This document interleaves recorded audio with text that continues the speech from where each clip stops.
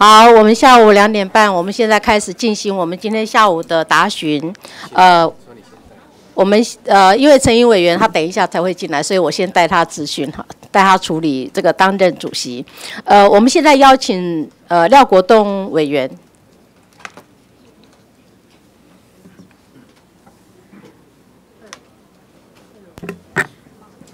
呃，谢主席，我们请部长。好，部长，请。廖委员好，嗯，部长，今天特别要跟你请益的是有关原住民的就业状况跟失业的这个苦境哈。呃，当然，你从呃这一阵子啊，你觉得一例一休这件事情对你来讲是已经过关了吗？哦，没有，还还有朝野协商，所以我们还是在积极准备当中。才刚刚开始而已的，更大的困境在后面呢。啊？更大的困境在后面。哦，是是是是是啊。所以我看你应该还是睡不着了哈。嗯，呃，这个觉得还还在处理当中，应该是还有一段时间吧。好，有一个名称叫做产业后备军，你不听过吧？呃，有没有听过？报纸上看过。哦，你也是在报纸上看到？是，他们说原住民这个很这个愿意愿意当产业的后备军嘛？不是愿意，而是被迫哦，被迫。对，因为你这个工业化以后，有很多的这个原来是属于劳工的工作机会啊，因为机械进来以后就变成失业，所以他们只能当后备军了，后备部队啊，而不是在整个产业的前方。意思是这样。那么现在原住民的处境啊，几乎就是产业的后备军了。早期的时候，在呃整个营造业。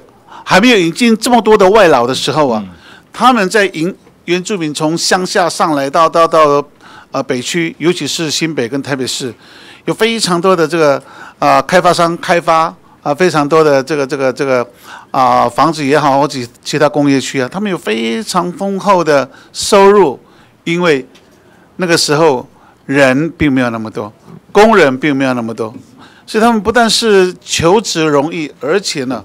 呃，这个每天的这个工资还非常的高，但是我们不知道曾几何时啊，呃，这个这个外劳进来以后，让原住民呢退居变成产业的后备军了。现在，这个该是工作好的时候还不一定轮轮得到他们呢，时机坏的时候，他们最先被解雇。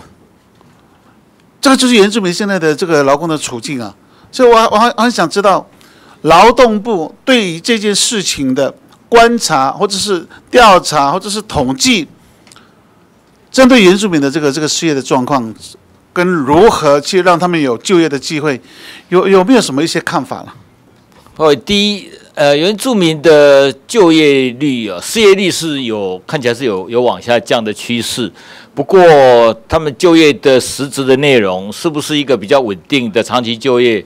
这个我想必须要再做一些统计。不过，我觉得现在我们的职业训练呢，都有保留相当比例的这个就业机会、训练机会给原住民，就是希望原住民能不能透过职业训练，从一个后备军变成一个常备军？不是应该在在正常的工作场所里面就应该有他们的工作机会，而不是等人家不要了以后再继续。所以，所以这个看起来是我们努力的目标。我现在要跟你谈的就是你们有没有做过追踪？我训练了一百个人，那么这一百个人出去以后，到底有没有真的在职场上发挥，成为产业的这个常胜军，而不是后备军？你们有没有这样的一个？我们的训后就业，训后就业都有分，譬如说一个月、三个月、六个月以后的训后就业率，都有这样的一个一个呃调查。像我们自己岗位，我们自己的这个培训中心出来，大概都会在百分之八十到九十。有这么高吗？自己训练的，自己训练。我们的执行中心，包括你们的这个我们委外机构，委外的哈，就稍微比较稍微没那么好，大概六十到七十，大概六十到七十。训后就业，这个这个经费基本上是从就业安定基金出来的吗？呃，你们的费用，训练的费用，对我们训练费用大部分大部分都是像我们的就就服这个执行中心的。费用大概很多，从就就安定金。部长，你一年大概花多少钱来来从事这个就业的训练？就业训练，原住民的部分是一亿多。了，一亿多。但是一亿多。总总的部分在职业训练大概几十亿吧。哎，你 OK，我们就讲原住民的部分就好了。是原住民大概可以训练出多少的多少？啊？这个这个常备军呢？呃，一百零四年，一百零四年，呃一个，年度经费是九亿，九亿多，训开一开训是三千四百多人。光原住民的训练部分哦，有对捷训有九亿的经费吗？对不对不起，有这么大吗？有这么多吗？对不起，九千多万，刚才讲一亿嘛哎，呀一亿就九千多万差了一个差差一个差一个零，差一个零。捷训的有三千一百二十几位，那么他们后来是变成常胜军还是后备军？我们都有追踪三个月。这个如果是马上这个就业的哈，嗯如果百分之百就一定是常备军啊。那第一年常备军呢，第二年就后备军了。通常来讲你们有，没有这样做做一个 survey 呃呃追踪一下？有没有？没有，应只有大概只有到六个月左右吧，六个月追踪六个月月是。所以我看到很多的原住民的这个失业的失业者啊，嗯就专门去参加你们的训练呢、哦，前半年呃去参加，呃后半年失业，明年再去参加，然后后半年他又失业，再后年又去参加，就一直巡回轮回在那个那个训练里面，没有一个稳定的啊一个就业的环境跟职场的机会给他们。这包括我们现在的系统哦，其实训练的记录都有，类似像那个护照一样。是如果是你一而再再而三的一直换哈呀，除非它是一个第二专场、第二三场的训练之外，像这样的话，我们大概都会比较把它作为一个特殊的对象来加以辅导。所以我我是建议部长啊，你们要跟圆明会，因为圆明会也也负责一些这个这个训练的工作嘛，跟是训训练的那个场域机会给他们嘛，所以你们应该这个这个两个部门、两个部会、两个机关应该要合作来面对这个问题。我我们我们看到的就是这个原住民的劳工啊。你最近为什么为什么提到这个问题？是因为最近大家一直在为了一例一休一休一例的事情在在在在争论，但是对原住民而言呢、啊，一个礼拜可能休两两例两两两休，啊，就是就业机会、工作机会比较，少。根本就没有工作机会嘛，还没有一例一休呢，两例两休呢，啊，四天四四天晒太阳，三天下雨，这个这个这个部分你们要认真的面对。你既然是负责整个劳动的啊，这个这个这个重大的这个部门呢，应该要直接面对它。你不要什么事啊，反正原住原民会的事哦，你就不管。不会，我们我们跟研究其实还有很密切的联系，是啊，所以联系。所以我才要追踪你们相关的数据嘛，不是有了个政策，然后丢丢丢出来就好了。你要真的很实际的、很实质的去追踪，到底这个职业训练对原住民到底有什么帮忙，对他未来的这个这个这个成成为一个正常的部队、产业的部队，到底做了什么绩效嘛？包伟，我们来我们来来再详细再进一步来分析一下这个，包括他的失业率三点九五，那么他的情况是怎么样？然后就业的情况是不是一个呃周期性的断断续续的哦？我们再进一步来详细的再评估一下，看看问题到底是怎么样这。第一，第二呢，你真的要研究，现在扩大引进外劳之后，造成的排挤、排挤的效应有多严重？里面应该应该有另外一个数据出来，不要拼命引进引进，因为你外劳第一个，他的费用比较低嘛，哦，啊、那么他也不会跟你抢抢一例一休啊，他可以中年三百六十五天都跟你上班，有加班。所以他根本不会跟你吵，但是相对排挤的本劳，尤其是原住民的劳工，是这个部分你们应该要有有一些研究出来才包伟，对。我们今年有一个新的新的做法，就是我们今年要把那个警戒指标定出来，看看外劳进来以后，它的总量，譬如现在六十万，嗯，那它到底是到一个什么样程度？是不是值得我们一开始警觉说，哎，这个数量已经太多了？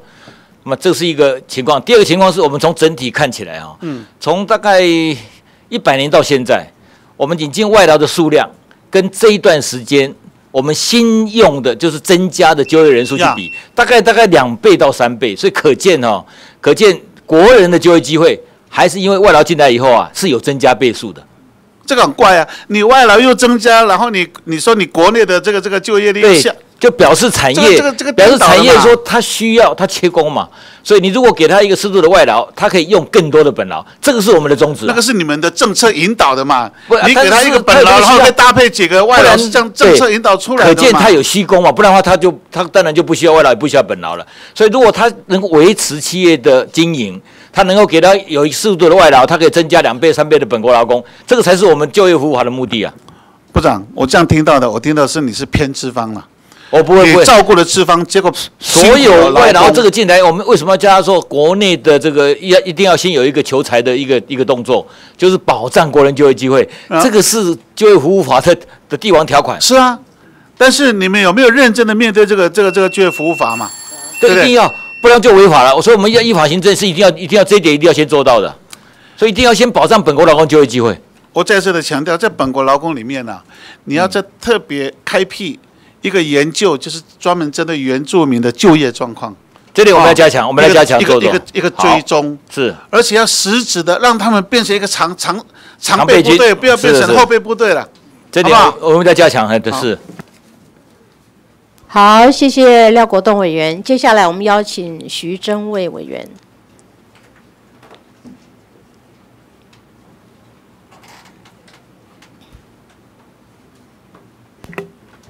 主席好，麻烦主席请我们部长。好麻烦部长。徐委员好，哎，部长好，嗯、真的不晓得我们现在政府在急什么哦。这个福岛核灾是这个日本的食品也要进口，不晓得急什么。一例一休也在急什么？现在很流行这个政策环评啊，好、我们在观光产业界也要一个这个观光政策环评。除了在这个取得建造执照还要环境影响评估以外，现在盖好了还要观光政策环评去签字，还是观光局的？观光局是在推动了，然后也要限缩观光产业的发展，很奇怪。那现在我们的这个环境影响评估，原来第一次做环境影响评估就过了，然后像台化的部分，这个彰化台化厂的部分，经济部说。经济部和环保署都说它已经非常合这个呃合格，而且最新最好的、最严谨的这个稽查都通过了，地方政府还是要环评。那请问我们在推动一例一休的时候，我们有做过政策环评吗？有政做过劳资政策环评吗？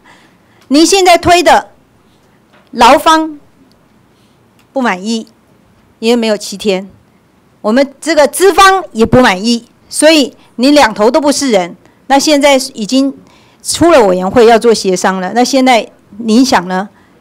这个政策会不会继续来推动？周休日不是说我们在赶什么，而是呃，从五二零之后啊，他因为那个时候被我们委员会退回去之后，你自然而然那个时候就一定要先去处理这个事情，因为它只有两个月的期限嘛，所以我们有时间上的压力。那么第二就是这个一周休二日这个事情，大概从。从之前就已经一直在在在讨论这个事情，重要的就是现在已经年底了，明年开始，不管是劳方，不管是资方，他这个行事力上面啊，都必须要去做事先的安排，所以才会有这样的事情，就是啊，可能需要在这个时候赶快把它。的安排啊，其实这一直以来就是存在的问题，有的人该休没有休，有人就是就是休，然后让孩子不晓得无所适从，没有地方放。这个就是一个困扰嘛，完全都没办法。之前因为有八十四小时的零碎时间，所以还不至于。今年就会发生问题，因为变成八十小时以后啊，就会发生问题，所以一定要赶快处理。这个部长啊，未来的问题挑战还很大，好，可能还是这个劳资双方还是要真的好好的跟他们协调沟通啊，是是是，否则这个永远在丢炸弹，永远让我们的所有的这个经济产业的环境都动荡不安。好，这个真的不是啊，看起来、听起来都很让人担忧。我们看看一下劳基法，劳基法第二十七条，雇主不按这个不按期给付工资者，主管机关得限期令其给付。啊，那这个问题发生什么问题？好，我们有明文规定，但当劳工遇到雇主不按期给他的工资的时候，哈。的行政救济途径，但是这个薪资的给付最终还是涉及民事的这个权利义务。如果劳工要循着民事的方式打官司的话，劳工有什么？他没有没有时间去打官司啊。另外，他也没有那么多的钱。今天雇主这个欺欠劳工钱，哦，那我们现在就是主管机关就罚雇主嘛，但是罚了钱，这个这个钱罚款是回到主管机关，不是给劳工，对不对？对。那劳工又抗议了，就是第二次再继续罚款，钱还是到主管机关，劳工有没有得到保障？不，这这个中间我们就会帮这个帮忙劳工去进行诉讼也好，我们有诉讼补助啊。你没有诉讼补助，那劳工就不要工作了，每天去做诉讼就好了。他律师可以帮他打官司啊。是啊，你不用完全都不用付吗？一百趴吗？劳工不用再工作吗？是不是？劳工是一个弱者，而且他是单一，甚至是可能两个、三个。但是我们我们劳委会是不是要补助？呃，不是，是不是要为我们劳工来帮忙呢？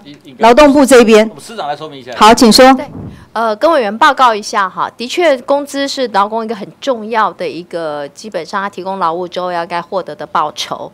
那在劳基法八十条之一里面有特别提到，就是主管机关要限期给付，那个可以要求这个要求事业单位那个令其改善哈，这个部分在检查的时候发现他有违法的情形的时候，他会限期要求雇主一定要支付相关的工资，如果主管机关限期之后，雇主还是不支付工资，还是没有改善，是。主管机关就会按次来处罚。是，嗯，按次处罚，钱通通处罚到主管机关来了嘛？都回到主管机关，可是问题是劳工一分钱都没有拿到，劳工就不断的走民事，不断的在诉讼，不断的每一天旷日费时，然后他就吞馒头就好了嘛，喝白开水就好啦。是不是劳工最主要是要雇主给他钱嘛？你们行政机关罚了人家钱，也不也没有办法给劳工钱呢。所以在这一条里面，我们是不是要适当来修法呢？来保障劳工的权益呢？如果您一直在每一天旷日费时，每一天在诉讼的话，劳工还还能做什么工作啊？每天法跑法院，是不是？劳动部这一条要怎么修？可不可以提出方案来？能不能修？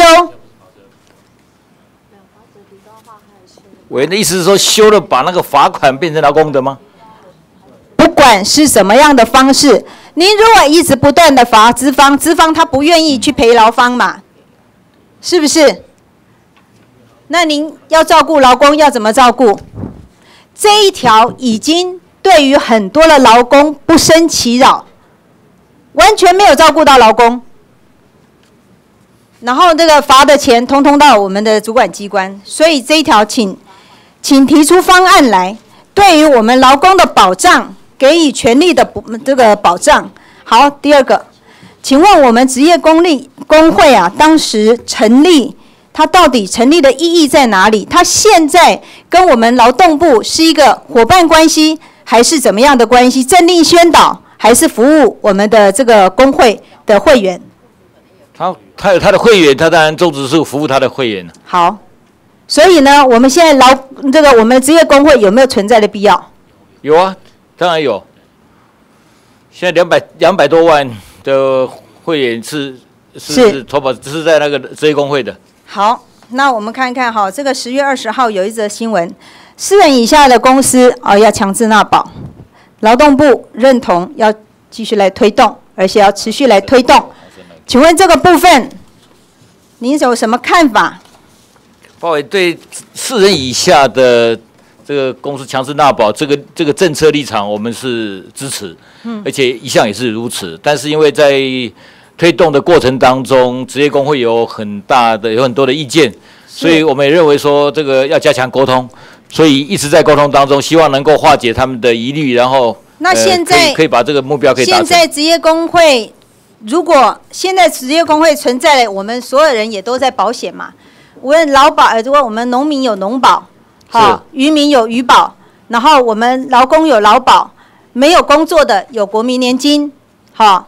那现在属于其实这个职业工会现在最主要服务的对象就是可能是 SOHO 族嘛，他没有固定雇主嘛，是不是？自营作业者自好自营作业者。是好，我们现在讲自营作业者的部分，就讲到一个重点，有一些像我们板模工人，好模板工会、木作工会、营造工会这些工会，很多都是大包、小包、小小包、更小包。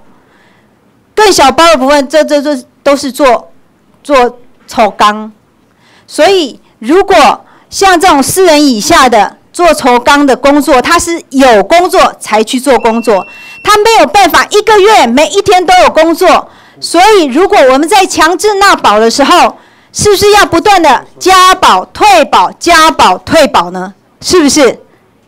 也就因此，所以这些四人以下的劳工，通通到工会去做。投保，工会也因为如此来方便他们做一些文书的处理，还有收一点这个费用。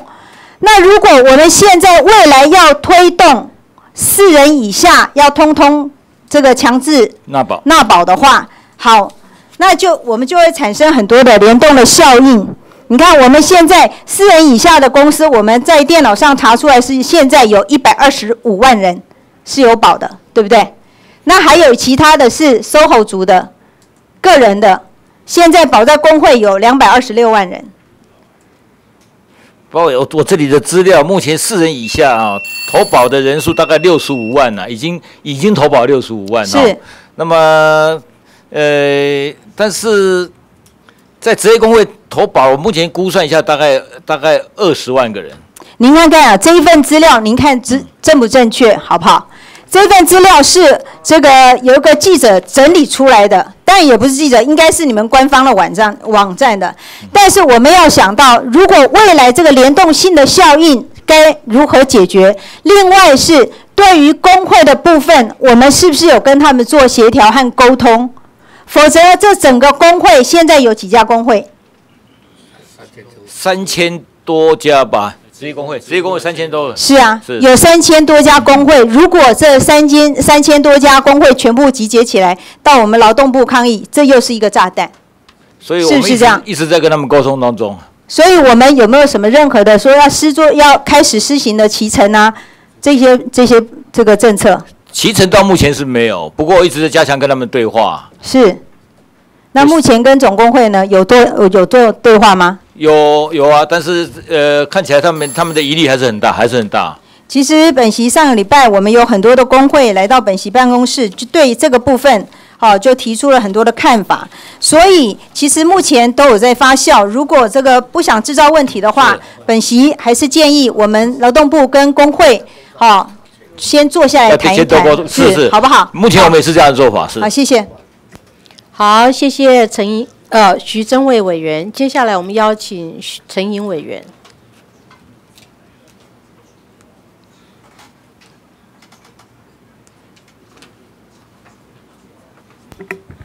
呃，主席，请部长跟治安署署，哎，没有，先部长先。好，请部长。陈委好。好，部长好。哎，好像本席在这边担任招委之后。是。常常关心原住民劳工的问题哦，那今天很高兴，几乎所有的立委，很多立委原住民的立委都跑来了哈，我想这是好事，多多鞭策你们一下。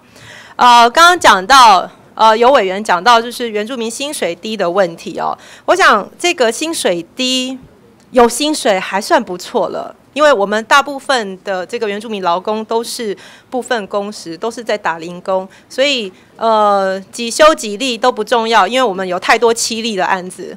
好，那呃刚呃大部分哦，除了薪水低，好，还有工时低，以及这个呃我们投保率低之外呢，我们也有三高啦，哈，就是。呃，职这个失业率高，职灾千人率高，还有申请职灾补助的推荐率高。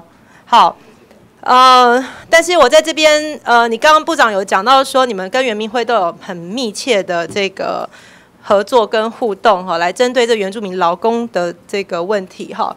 可是呢，呃，就在不久前哦，本席在执行呃执行这个原民会的时候呢，经呃，就是我我我很吃惊了一件事，就是负责原住民劳工的这个社福处处长，连职在千人律是什么，他是他不是不知道，是不他是连职在千人律是什么他都不知道。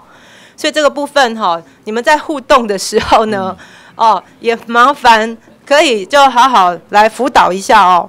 那另外，刚刚呃回应一下部长讲的这个呃，针对这个外劳人数的这个警戒线，好这样的一个研究，我想这样的研究是很好的，但是本席要提醒一下，就是说，呃，我们在针对这个，就是说这个警戒线，呃，到底对这个人数对于这个原住民的这个就业率有什么影响的时候呢？你们应该分类去做好，因为呃，我想我的了解是说，在于我们的这个未来长照，可能在照护人力上面，我们是缺工的。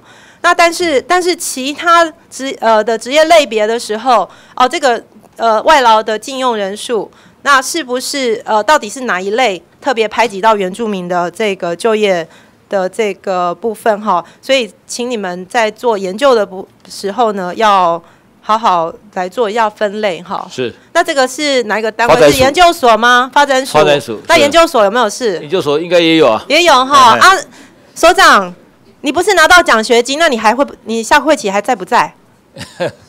还在啊哈。你是出去一下下，还是要出去很久？没没，我只是好奇，因为我不知道是要换人了吗，还是什么一？个月了。哦，好那你快去快回啊！好，谢谢。来啊、所长请回，刘署长。哎，为什么他一上来你们就很开心？好，署长，你今天是热门呃，我们本 本委员会的热门人物哈。今天的 h o s e t 就是你的，就是你第一名了哈。我刚刚有算过，早上呢一直到现在哈，总共有六位委员关心这个劳动检查的问题哦。时代力量一位，国民党两位，啊，民进党三位，加我第七位了。后面应该还有很多人会问到。然后我再透露一下哈，前面呃前两天我们呃民进党团这个立委的群组，大家都很热烈讨论这个劳动检查的问题。好，嗯，我请教一下哦，这个蔡总统的这个劳动政策六大主张，你背得出来吗？好好，很好，没关系，我们节省时间哈。哎，工工资、工时，然后非典非典型的还有中高龄，然后工会还有职灾。好好好，谢谢哈，谢谢部长的这个出手相救哦。那我想请教一下，这个劳条大军是根据哪个主张？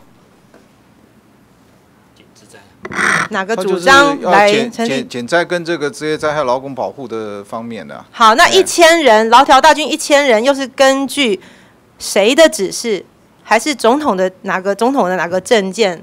呃，总统在电视辩论会的时候提出来的政治呃那个政见主张，哦，所以要他要讲一千人，是不是？哎，他讲的讲一千人，哎是好，这样好。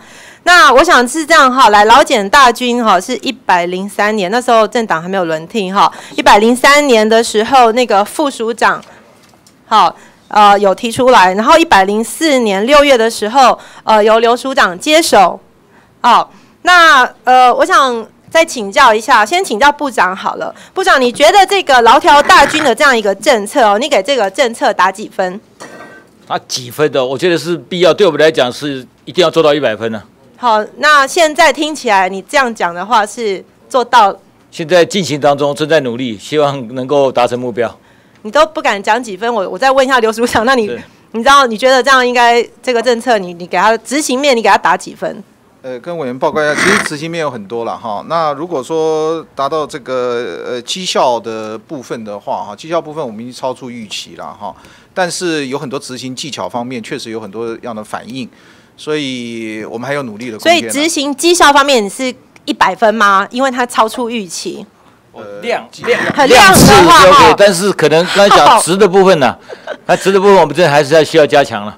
好，很清楚。来量的部分哈、劳动部给自己很高分，因为超出预期。但是值的部分呢，我想按照这么多的民怨哈、呃，到底几分，可能我们就不好意思讲了。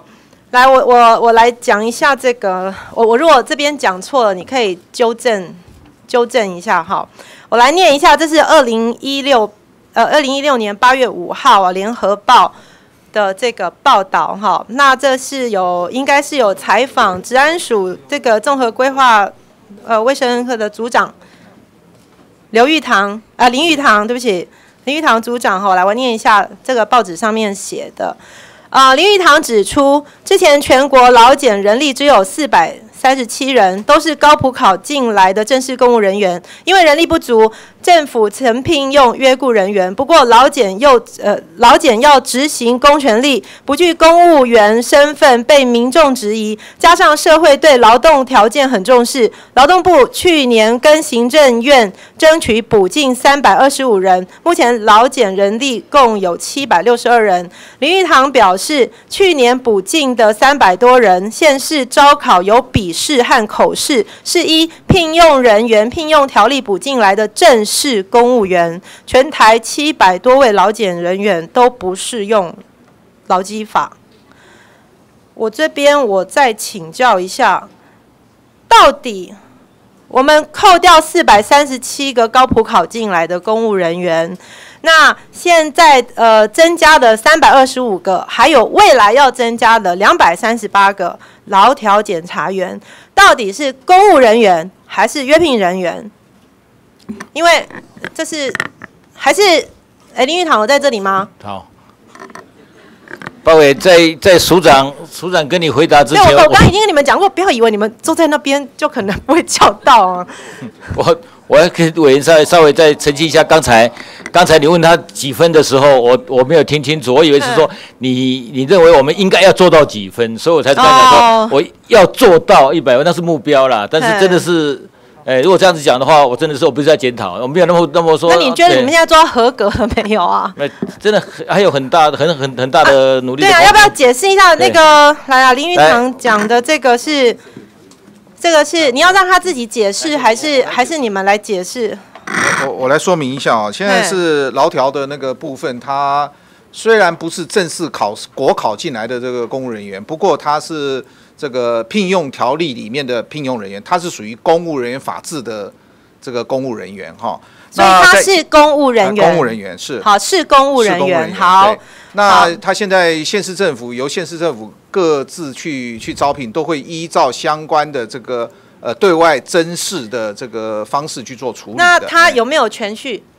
呃呃，聘用人员没有，聘用人员没有，不用经过全正式公务员才有全序。好，所以他是公务人员，然后他是用聘用条例。然后你说正式公务人员才有全序，所以他是公务人员，但是他不是正式的公务人员，所以他没有全序。呃，不是全序的公务员了。好，是。他他也是，他也是根据公务人员相关的法规禁用的，具有公权力的人。好，那我请教一下他们的这个业务哈，还有这个计划时程大概是什么时候？还是我们一直都需要这一千个 total 一千个劳条大军？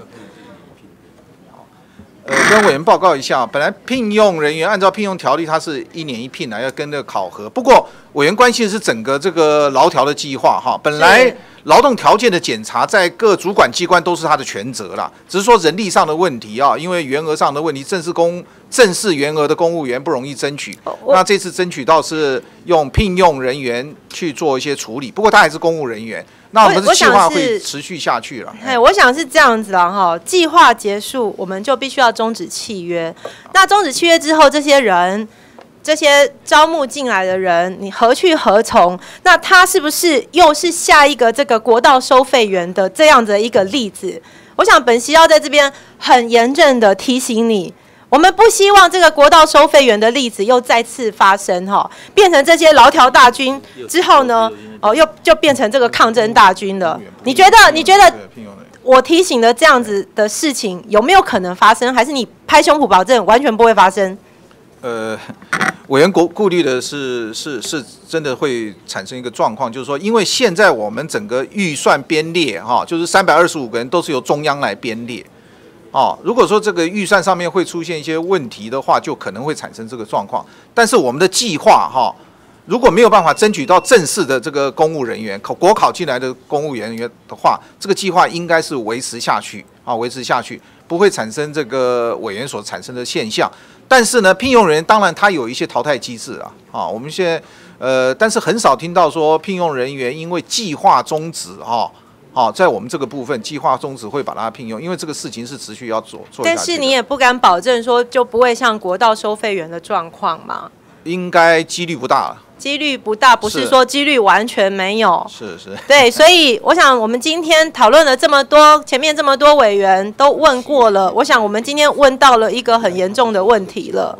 好，所以这个部分，那到底我们这个预算应该到底要不要让它通过，要不要放行？我觉得这个部分你们应该要好好的要留意一下哈。我我也不希望，我希望做到是一个百分之百不会有国道收费员这样的一个状况发生哈。好，再来我们来讨论一下这个民怨的部分哦。前面有很多委员也讲到一又三分之一的这个延长工时的加班费哈，以及一又三分之二，那这个除不尽又没有四舍五入，那所以呃，你们劳动部是不是要干脆很明确的给个数字，到底要怎么算？你要用一点三三，还是一点三四，还是一点三三四，还是多少？报委，我们文字上是三分之一以上，所以现在实物上都是三四啊、六七好啊。，那这样如果像这个之前被开罚的例子哦，那未来如果少算了十五元，你罚不罚？还是罚两万？还是要罚少一点？还是你说那署长早上说这个劳基法就是要从严？高雄市政府他是说之前好像他们也辅导过，也好像也宣导过哈，所以好像是呃因为这样子，所以才特别罚了。不过我觉得这个在检查的技巧上面，在未来这方面，我想地方政府跟我们大概都会做一些检讨，然后做一些比较比较合理的这个处理。另外我再请教一下，就是告发的这个告呃。你们告发率各县市不同哈，那你统一的这个裁处的基准是怎么样？说各县市有各县市定不同的裁量基准。我们劳调的部分，各县市都有有定自己的裁量基准啊、所以他们按照他们那个基准去处理所以。每个地方都不一样，这样子好吗？呃，如果是在那个那个范围之内哈，他们去定裁量基准的话，应该是都还还还可以的。我我想是这样哦，整个劳劳动检查，我想它的利益是好的，但是我们的执行面出了很大的问题，结果就害得我们的蔡总统要背黑锅了。好，受到很多人的关切，那当然很多立委也很多的陈情，不管不管各个党派的立委都有很多的压力，陈情都来了嘛，哈，所以我想在这个呃我们这个新进的这些劳调大军哦，他的专业度、他的态度，还有他整个接下来制度面的问题，你们应该要做一个检讨改善哈。那你现在有没有一个比较清楚的概念？接下来应该要怎么做？是这些劳条大军三百二十位，还未来在增加的哈。我基本上大概会从五个方面去加强。我常讲说是选、训、用、和、退。选就是真的，我们在选拔的时候就要写有专长相关科系。那么训就是进来以后要做好之前的训练。用我们要定一些这个执行业务的一些注意的要点。和就是我们希望有及时考核，因为现在他们去检查回来之后啊，我希望同仁在最短时间之内就打电话回去问问看看，他当初在检查的时候到底有没有造成人家不满意或是任何的问题，最后退就退场机制。我们希望能够这样子，能够提高这个检查的值。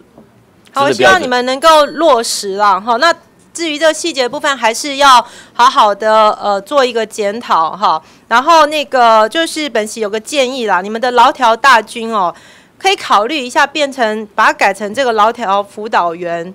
好，从这个一个阶段性来做做辅导，因为毕竟我们如果未来呃这个落实周休二日这个政策推推动，我们要落实，可能你还有一段这个宣导的时候嘛。那另外呃，我我想就说最最后一个问题，请教说刘署长，你的专长是劳动条件检查还是劳动安全卫生检查？还是你觉得你两个都很厉害？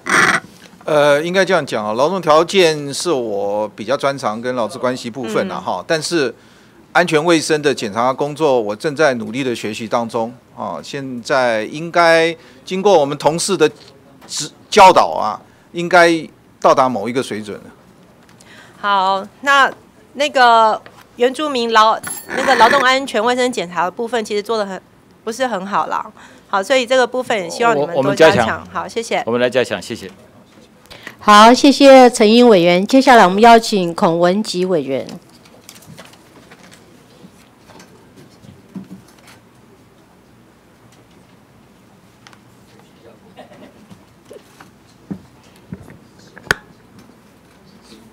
这个一定要给陈英委员哈，要鞠躬让他看得到。我鞠躬不要超过三下了，不不要超过两下了，呃。，刚才陈英委员说，因为你当招委，我们几个原住民委员啊才踊跃来这边咨询。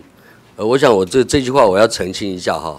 我知道前面是廖国栋委员，那刚好后面就排到我，那后面又刚好又郑天才委员，那我们刚好都放在一起哈，因为早上签到我们是非本会的委员，我们安排是可能到下午哈，所以第一个哈，可能我要提醒陈营招委，并不是说你当招委我们才来这边咨询呐，啊，那第二个嘞，那刚才你发言有超过时间，我也注注意在听你讲，啊，那后面发言后面刚好要发言的是我跟郑年才委员，啊，那是不是说你当招委你的时间会比较长，还是怎你么你？们前面国民党有人超过六分钟，我都没有请他下来哦。我们就尽量就是，如果不是特殊状况，大家都守规矩，然后议题很重要。其实其实我我到这边来咨询，是因为我还没有咨询过郭主委哈。那不是说因为你当招委我才愿意来执行，这那个龚委员，你太敏我要这感了，边要先要要先没关系，我们时间给他暂停了不哈。是说你当招委我们才来这里咨询，这这个这个我没有原住民的议题，因此受到很大的重视，哪一这个人当招委，哪一个人当招委，我们我们都不管，不要太敏感了啦。只要是我们有时间，你要不要你要不要啊质询？我你你现在有没有占用到我时间？哦我刚刚有特别请他稍微暂停了啦。有暂停吗？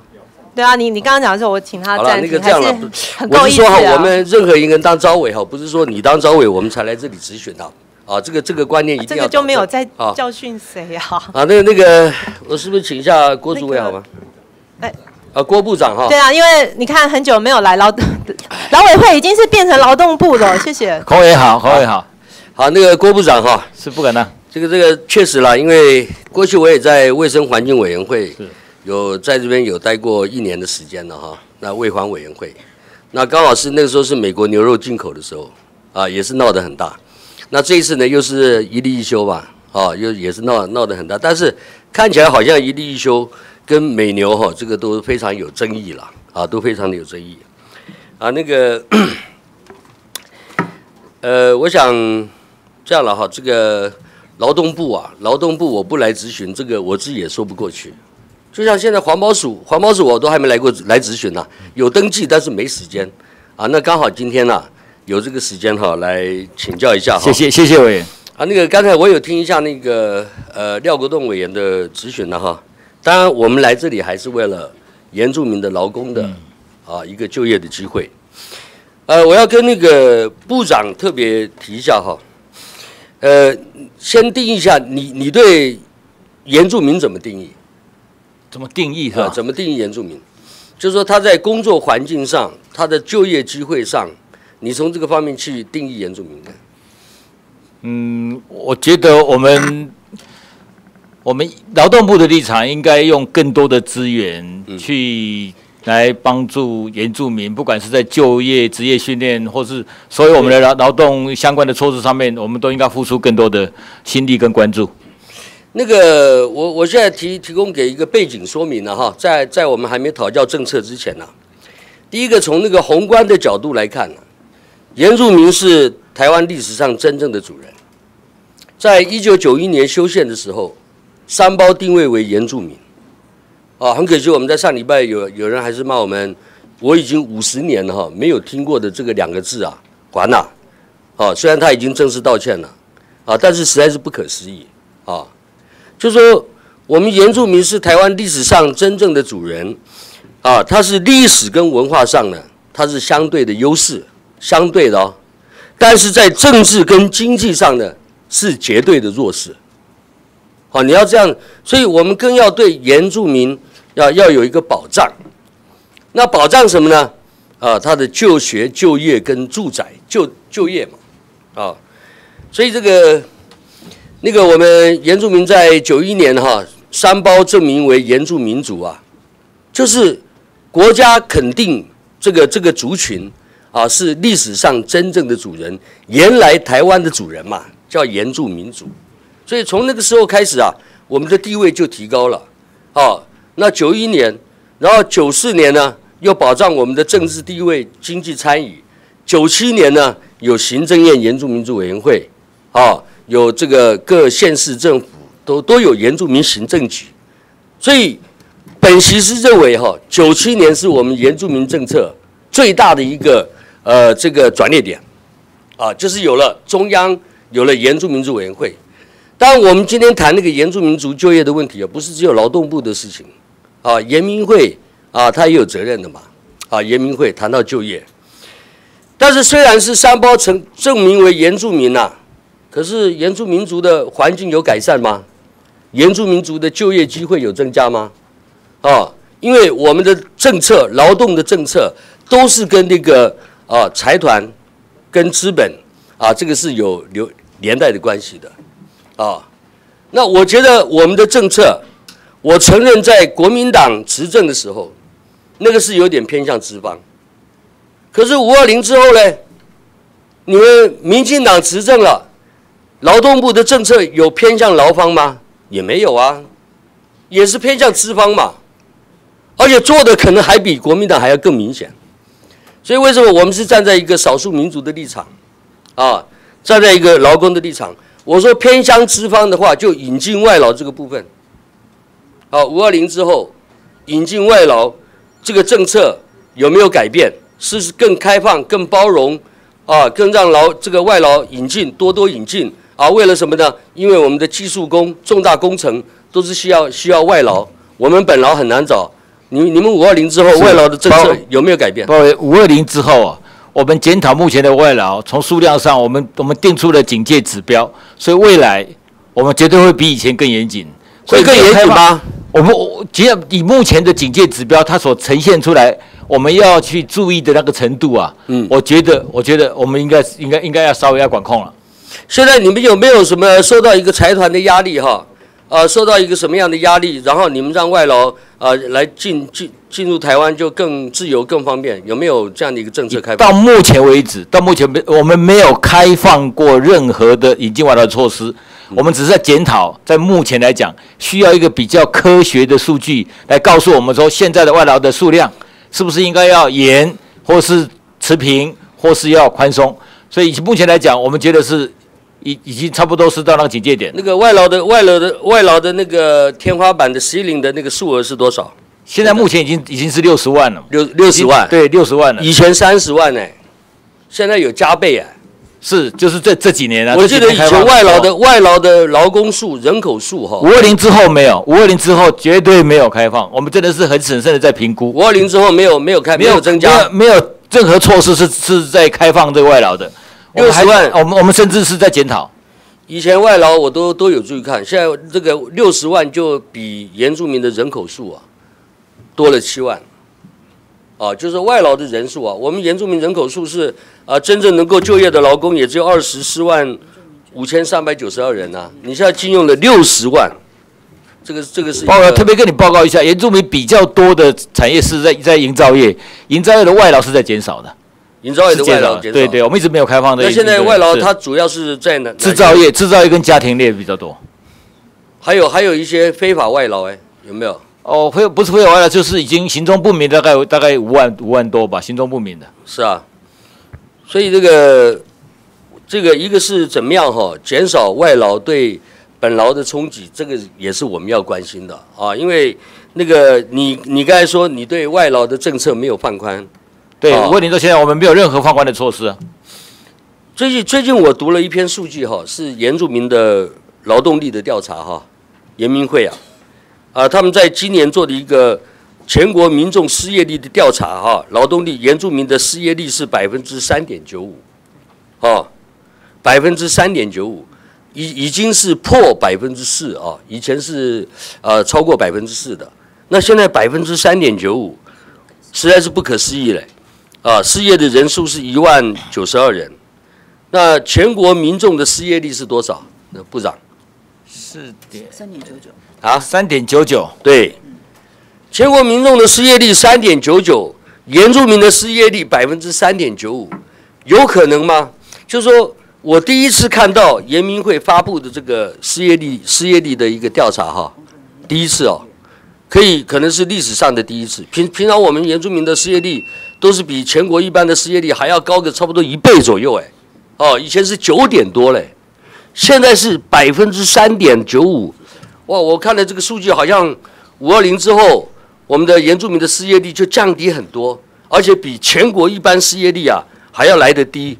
那部长你怎么解释这个现象？这个数据有错这个是原民会的调查了，所以我相信他一定有所本呐，有所本，应该是的，因为他他但是这个事业率一公布之后，大家都不相信。我说怎么可能呢？现在我们看到原住民还是面临一个找不到工作啊，然后意外事故频传，职业伤害。然后领不到工资，雇主欠薪，雇主跑掉了啊，全部都找立委来帮忙。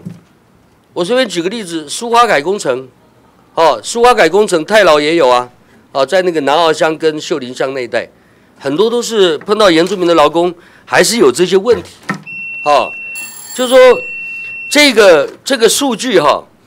是不是请部长你你去调查一下，进一步了解一下他的调查的样本跟方式是什么？因为我们我们立委是不不不可能相信的，而且是不不不可思议的。哦，这个这个，因为现在还是我们我们接触的哦，我们接触的还是请我们安排工作。好像那个你们劳动部有很多啊中期什么就业服务站啊，都会来找我们啊，这个来。啊，到到找我们说啊，多介绍几个原住民去，啊，我们是能够尽量配合就配合啊。包括我们可不可以请我我来转告一下严明会，请他把那个调查的那个资料送给我？没有，我已经有了，我就是根据他这个资料，所以我我是说，是他不知道是委托哪一家公司了，哦，不要不要蒙骗蒙骗世人，全原住民的劳动的状况啊，没有比以前更好，没有比以前更好，哦。而且我们现在都是要领什么呢？啊，这个训练的津贴，就说我我去参加你们职业训练班，啊，参加职业训练班，我我领那个津贴，那个是当成我呃一我我我一个月的生活费，啊，我一个月的生活费是去参加职业训练，那个算不算是有职还是无职啊？我参加职业训练三个月六个月，哦，算不算有职？不算。那应该不算嘛？对，训练期间不算，所以对不对？你们劳动部的，还有研民会的，啊，这个这个参加职业训练的，啊，我们这些原住民，啊，这个这个能够每个月还可以领到一些训练津贴、失业训训练津贴、生活津贴。对啊，那个那个大家都一定要领到基本工资嘛，啊，基本工资的薪水。那有的研民会啊，这个这个劳动部给的不够，那研明会来补足这个差额嘛，对不对？是这样啊。我时间到了吗？有有给你超过，超过了。好，好了，那个我因为下一个要咨询的是郑天才委员，我也不想占用时间了哈。啊，这个我们彼此要互相尊重了。啊，这个。大家都很尊重，尽量让大家讲完。好，好，那那我要谢谢招伟了哈，这个也没有打断我的时间。啊，我就这这点要求了，好不好，部长？好，是，谢谢。这个好好，谢谢。好，我们谢谢非常关心我们原住民的这个孔文吉委员。对对对，因为今天我们本委员会有您的到来，非常的光彩。好，我们让这个劳动部呢，劳动部是不是劳委会？好，呃，能够更对针对这个原住民劳工的问题，能够更加的注意哈。我们谢谢孔委员，欢迎你有空常来。好。我们接下来请也是常来的哈，这个郑天才委员。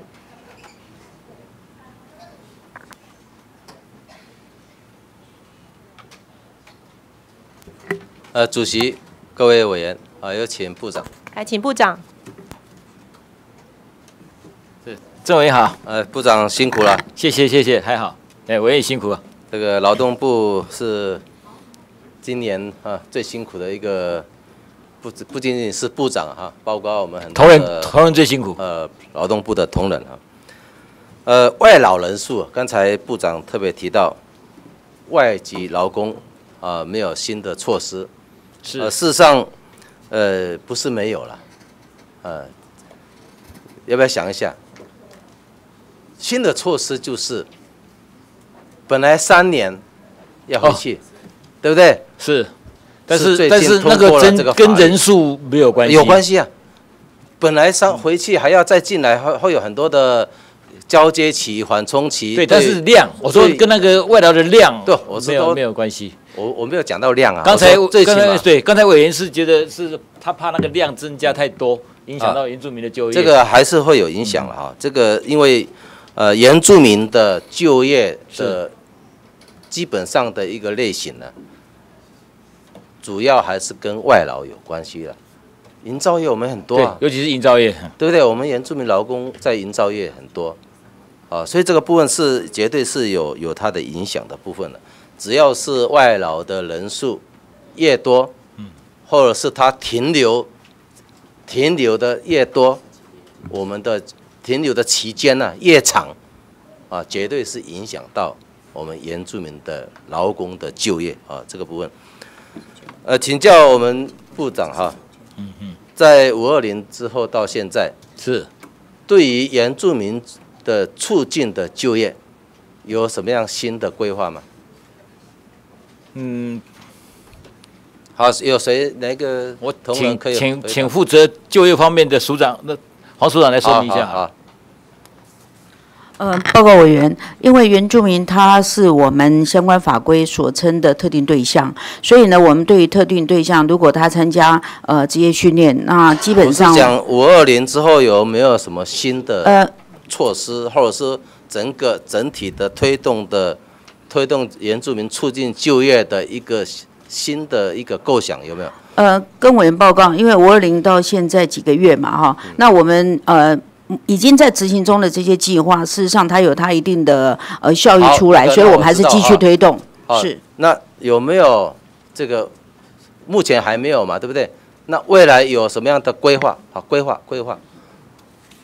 嗯，就未来，当然，如果原住民的促进就业或者是就业服务，那有我们也会在讨论了哈，就是说有没有什么方式可以促进？对，我们会积极的来做表示。还没有哈。哦，我补充一下哈，就是五二零之后，署长也是才来没多久哈，我交代他说，把过去，因为过去坦白讲，就是一直叠，一直一直这样子堆积的这些旧的方案哦，越来越多，这个，所以我请他检讨，请他检讨，所以旧的已经删了好几个方案了，新的部分大概目前还没有推出来。呃，是这样啊，这个通常啊，我们都是老事务官嘛哈，一个新的这个执执政团队上来，哦，也许是同一个政党啊，都有不同的新的政策嘛，好、譬如说这个早期张俊雄当院长，到后来尤熙坤当院长，到后来苏贞昌当院长，不会一样的，很多政策也许是同一件事，但是不同的一个政策方向都有可能啊。那原住民族的就业，促进就业这个计这个这样的一个政策，呃，这样没有啊？你目前还没有嘛？因为你在忙一一例一休嘛，所以就这这半年大概重点在检讨过去的推动东西，就明年新的年度，我想我们会再考虑看看，再推的推有没有新的措施。呃配合年度的应该是有不晓得是哪一个部门在做了，研考单位还是什么哈？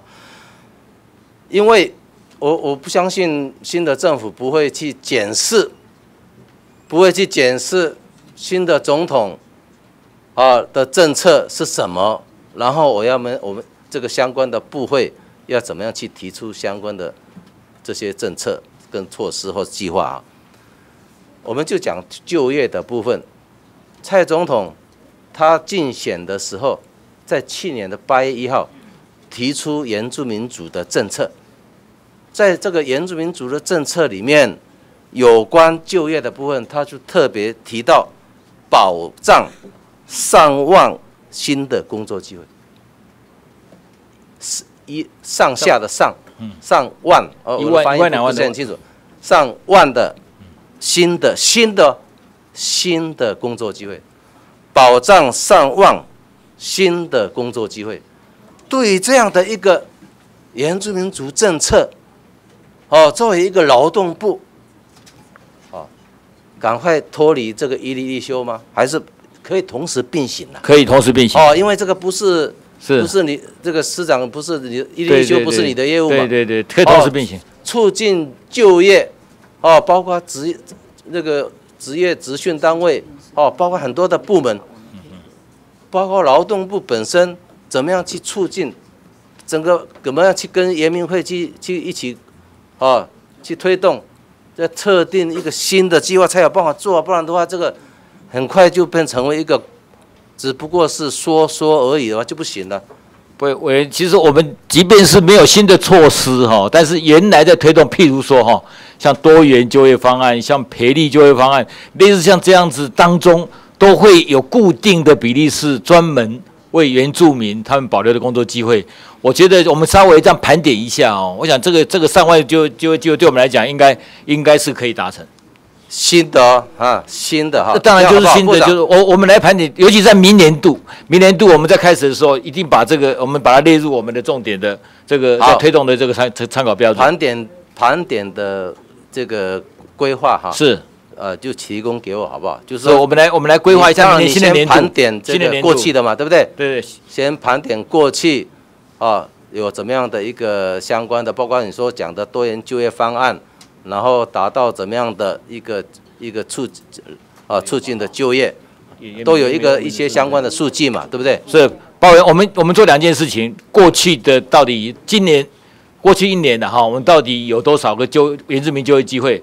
然后未来如果我们要怎么样去进行，我们会跟委员报告。哦，这个部分呢，这个劳动部要加强，要加油，然后跟这个严明会啊，对，要跟严明会合作。你们最好是能够有部长呃次长哈，好，劳动部的次长跟严明会的副主委哦是。共同的我们我们的市长也是研明会的委员呢、啊，不是不是委员不也委员对了，我说他们他们也有平台在对要设一个对平台，我知道那个之前啊，这之前已经有了这个平台，然后这个平台要以把这个列为一个最重要的一个，你毕竟呃现在又过了哈、快快一年了嘛哈，嗯。呃还不到了六半半年了嘛，啊最起码这是未来的三年多，哦怎么样去推动这个相关的这个哦所谓的新的一个工作机会，这个就会整个整体的去推动会比较，而不是零散的。是，哦，不是零散的，哦，所以这个部分可以做吧？可以，哦，所以包括你的预算的支持，哦，相关的这这个部分呢，哦，相关的职业训练呢，哦，这些都会会有所检讨。比如说你的职业训练本来九千多万，哦，就在就业安定基金里是面，还是说其他的自己的公务预算，然后你的职训的类别，啊，然后这个职训的人数，然后后来这个整个就呃就业的呃做完训之后就业的状况如何？哦，你有前面有一个盘点，然后后面怎么样去推新的计划？我我认为啊，这个部分呢，这个部长是，呃，我们应该，我们可能再很希望做的更务实一点，更彻底一点。当然，这个政策方向啊很重要，就像我们看到很多的这个都在积极的推动啊，像年金改革啊、司法改革、啊、都要积极推动啊，包括这个所谓的劳工的这个一个一个呃休假，虽然我一直不是很懂啊，啊，我一直不是很懂什么呢？这个对对我们来讲啊，啊，蔡总统说落实啊实质的啊实质的周周休二日，对不对？当然我我不太懂了，周休二日就周休二日，我们长期以来的周休二日就是军公教的周休二日，军没有了，公教的周休二日嘛，呃，还说要军公教、中公教不一样啊。对，我知道啊，这个这个就是说，一开始就不要讲说周休二日，为什么？因为他周休二日在这个台湾来讲，就是公教那样的哈、公务人员、教师的周休二日嘛。所以你一开始就要讲不同的用名称名称吧，就像你现在用的名称叫一例一休嘛，对不对？所以这个部分哈，所以这个我周休日比较容易懂了。好，那个部长，呃，我还有已经过了时间是吧？好，这个本来还想谈谈一个议题了哈，没关系，我们下次再来。是谢谢谢谢好好，谢谢。好，谢谢郑委员。好接下来请蒋乃馨蒋委员，蒋委员不在，请张立善委员，张委员，张委员不在，请杨耀委员。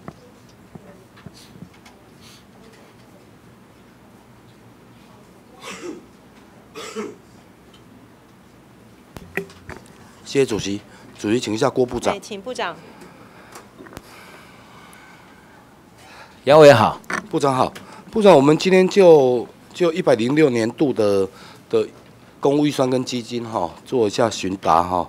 那我就就就业安定基金里面的的促进国民就业计划向下的多元就业的一个学习业务，我们在我们编列了办理创客基地网络推动计划一亿三千多万，同时也也编列了在一百零六年度也编列了补助民间团体来维护这个创客基地的费用一百一千五百万。那我想先就这是明年的的预算，我想先就今年，今天我们从从立法院的预算中心的的报告发现，就是今年其实就业安定基金就已经有编了五千万，要来补助民间团体办理创客相关课程等等的费用。哎，据了解是八月份还没有把相关补助实施办法拟好，那现在现在已经十一月十一月了，这一笔预算今年有动支过吗？对，请署长来说明。好，谢谢。嗯、报告委员，补助款的部分我们今年已经有动资，那事实上我们有有动资多少？是呃大概将近四千万补助款。哦哦，对不起，补助款的部分没有动资，但是我们创客基地本身它是有呃这个相关的团队啊、事实上已经在开始在进行这个创客的业务。我现在问的不是创客基地，是是我们除了创客基地的费用以外，原本想要在想要就是原本今年度有编了五千万，要补助给给民间团体，可能来做协助或者是办理课程等等的费用。那为什么今年编了五千万？看样子今年是不会不会执行了。是问题在哪里？速度你唔好紧张哈，我问一下你啊。跟我跟委员报告哦，呃，刚刚呃这个。这个讯息上，抱歉有点落差哈。那有关于这个呃，您刚刚提到的这个补助款的部分呢、事实上确实我们今年呃原本编列的预算，因为相关的要点还没有定定出来，所以呢，我们这笔经费是还没有执行。不过署长这个理由就本息就比较难接受哈、因为你编了五千万，然后花了一整年的时间，竟然没有把实施的办法拟出来，这个这个这个我我我我不觉得这个应该是应该是你你答询的原因呢。呃，是呃，我们应该检讨，应该检讨，对，因为刚刚我们的呃负责这业务的这个主任有跟我提到了，当然就是要点的定定，它事实上呃跟很多的相关的单位团体有在做一些的讨论，可是因为没有达到共识，所以呢，等于要点没有定出来。我想这部分我们自己要检讨。对，所以部长跟署长哈，我们以后是不是这样子？就是说，我们有一笔预算想要想要编列的时候，我们要怎么支用？我们最少心里必须要先有一个底嘛，好，才不会说说，诶、诶、从委员会到大会，把这笔预算已经全数通过给你们，那一整年一整年的时间，你没有办法把把把补助的办法拟出来，好不好？对，包伟这个的确需要检讨，因为在在部里面，其实我们都有不同的点在在检视我们当年度的预算执行情形。譬如说六个月的时候，我们就要去看看有什么预算动动还没有动的，问题出在哪里？看起来这个是有一点 lost 掉的，这应该要检讨。对，诶、其实我问这一笔基金哈，最主要的是是本席对于对于创客基地还蛮有兴趣的，啊，我也觉得这个构思非常好，哎、现在大概都是以以分属来为主体在在做进行，对不对？是我们现在五个分属有这个分别有创客基地，对不对？是那目前目前设置的地点都在哪里？都在本岛。哎，都在本岛的都会区。呃，基本上五个分署他们的创客基地确实都是设在都会区。所以，所以难怪卫环委员会哈，每天大概都有离岛跟偏乡的的委员必须要来这边做咨询哈。纵使不是本委员会的委员，也经常来，因为这种资源的分配实在是太不平均了。好像这种像这种创业概念的东西，事实上都会区除了公部门以外。有很多有很多民间团体也在做，最需要的反而是离岛偏乡，好，譬如说譬如说台东花莲的山区，它可能也有适合它它它在地形的的创客中心。那离岛离岛就更需要了哈，哎，为什么你们没有考虑要到离岛去设一下？嗯。报告委员，因为这创客基地是呃发展署新的业务在推动，那基本上推动几年了？呃，去年开始。啊，去年开始。去年开始，对。所以我们所以去年开始就就就就诶这样子，就两年的时间就有六个，就有六个创客基地，还是五个？是目前的话，我们是有六个创客基地，对。那我们通常都会是试办，试办一段时间。那如果说它的成效各方面的效益都觉得不错，那当然我们该呃去做一个呃更多的推广这部分的话，我们会再做考虑。所以呢，目前是在一个试办阶段，试办阶段我们会先评估它的成效。哎，其实我们我们离岛偏乡哈，总是这样子，就是看到。看到都会区已经在做了，那我们就除了一边流口水以外，我们就一边探寻。好，那我曾经问过说有没有机会到澎湖来设，结果你们给的给的回复是说希望由当地的就业服务站主办，然后希望办理小型座谈，邀请讲师来演讲就好。好，那我想这个这样子的的的方向跟创客基地。相距太太远，太远，好，显然的，显然的没有公平对待每一个国民的概念，好，那，呃，可能部长、署长可能也不知道澎湖的就业服务站啊，你有的时候开车经过，你不认真，你还不知道就业服务站就在那边，好，那里面就只有就只有两个员工，好，他很很明显的，他的他的人力也不足以。不足以来支应一个一个创客中心的的成立跟运作。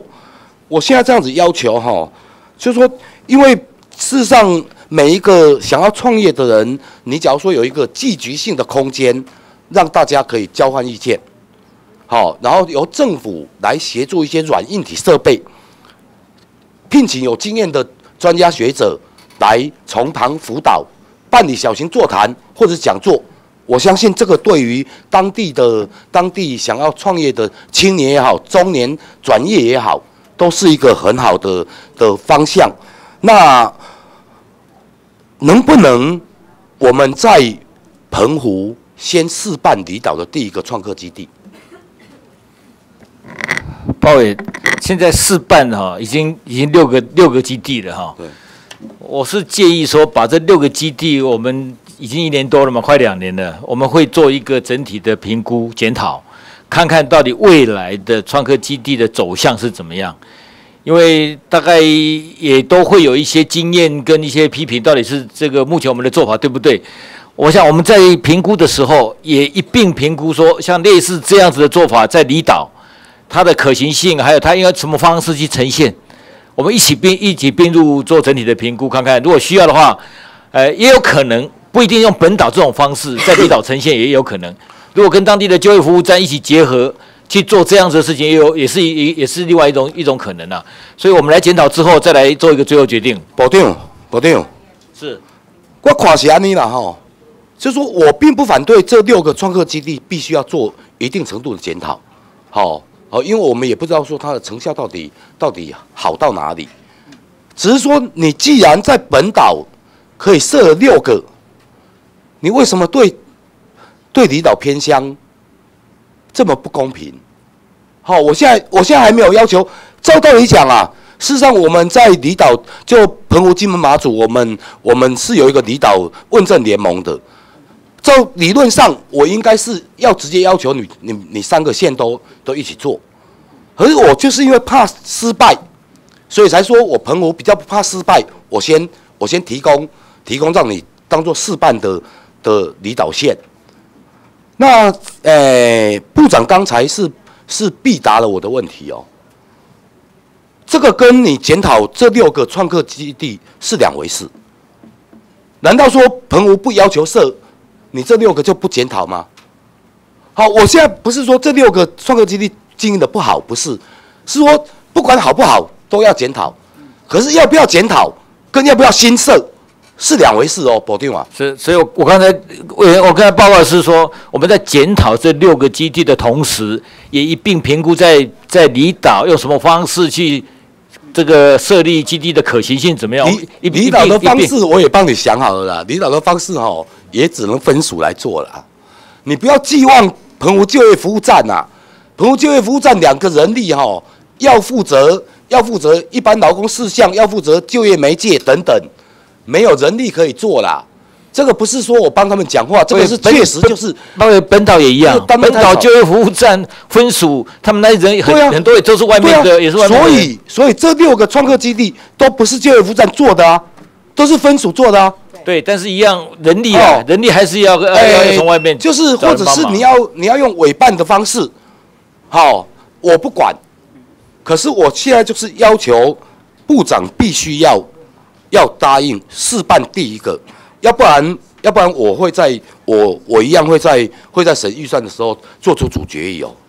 是，包委员，那好，因为部长部长我说的那个六个基地放放在一起了，我们来整个就单独单独为了为了这个事情评估一下。对，我现在我现在不是说你一定要要考要考比这六个，是，因为就就特别为为这个离岛的创创个基地来做评估一下，一一定要因地制宜。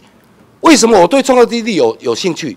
因为澎湖以旅游为走向的的一个一个经济经济模式。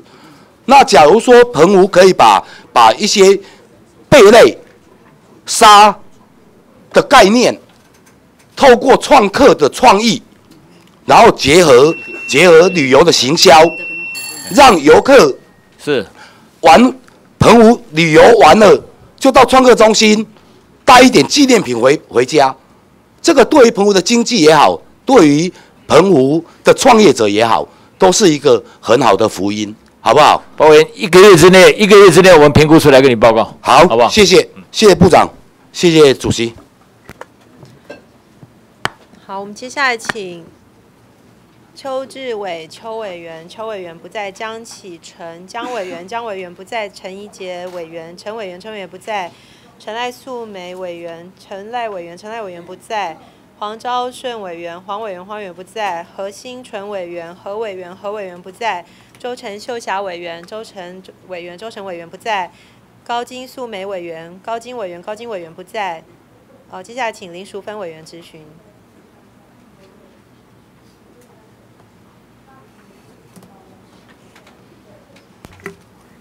主席，各位大家午安哦，是不是请我们部长？来，请部长。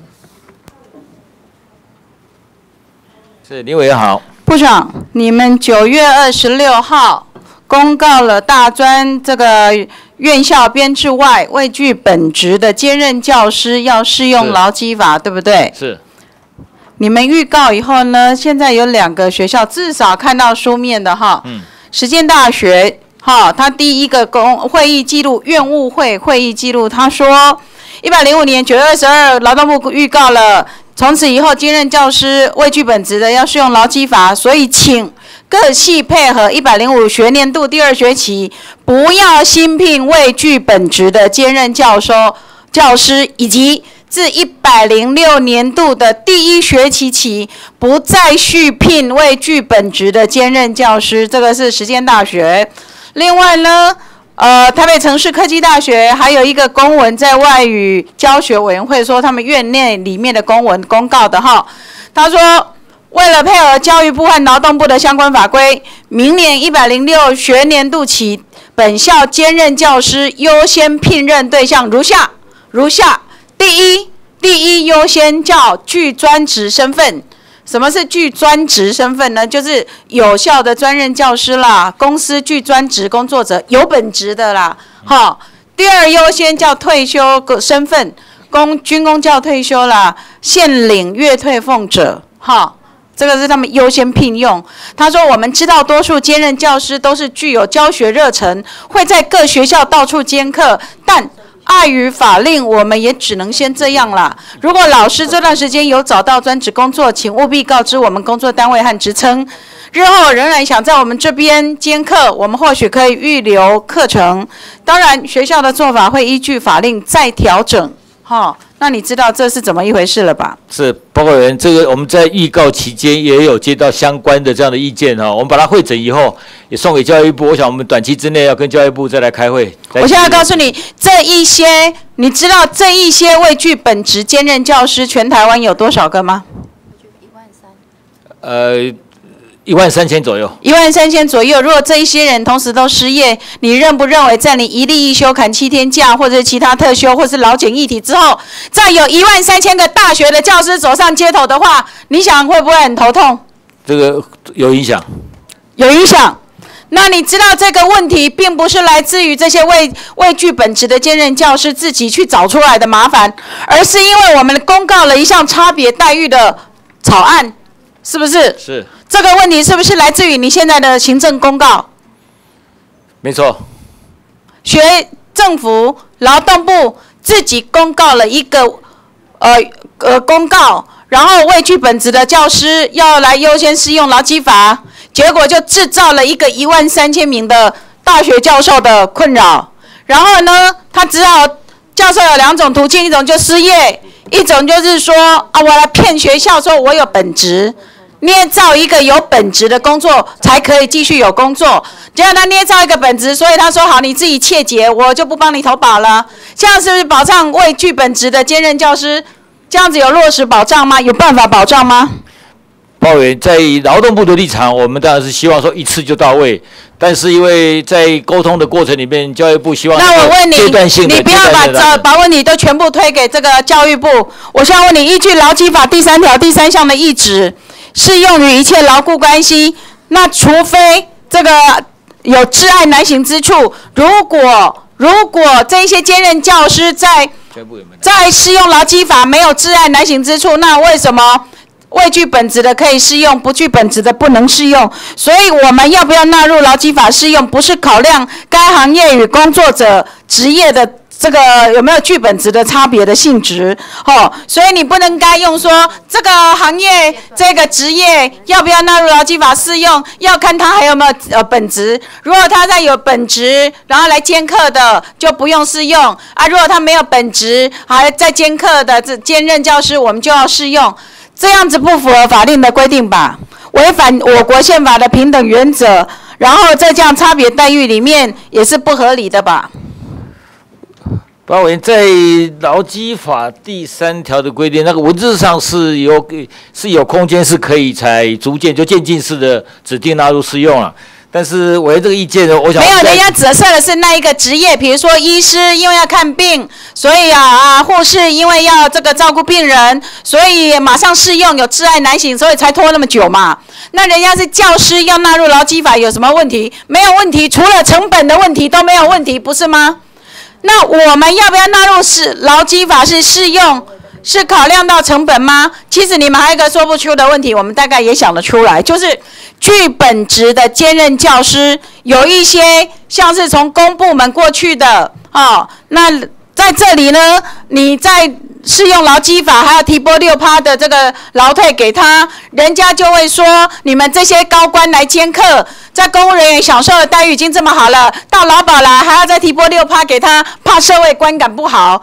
我知道你们把剧本职的纳入劳基法适用，会引发的社会上的压力会是在这里。可是你有没有想过，你可以纳入全部，不要差别待遇，全部纳入劳基法适用。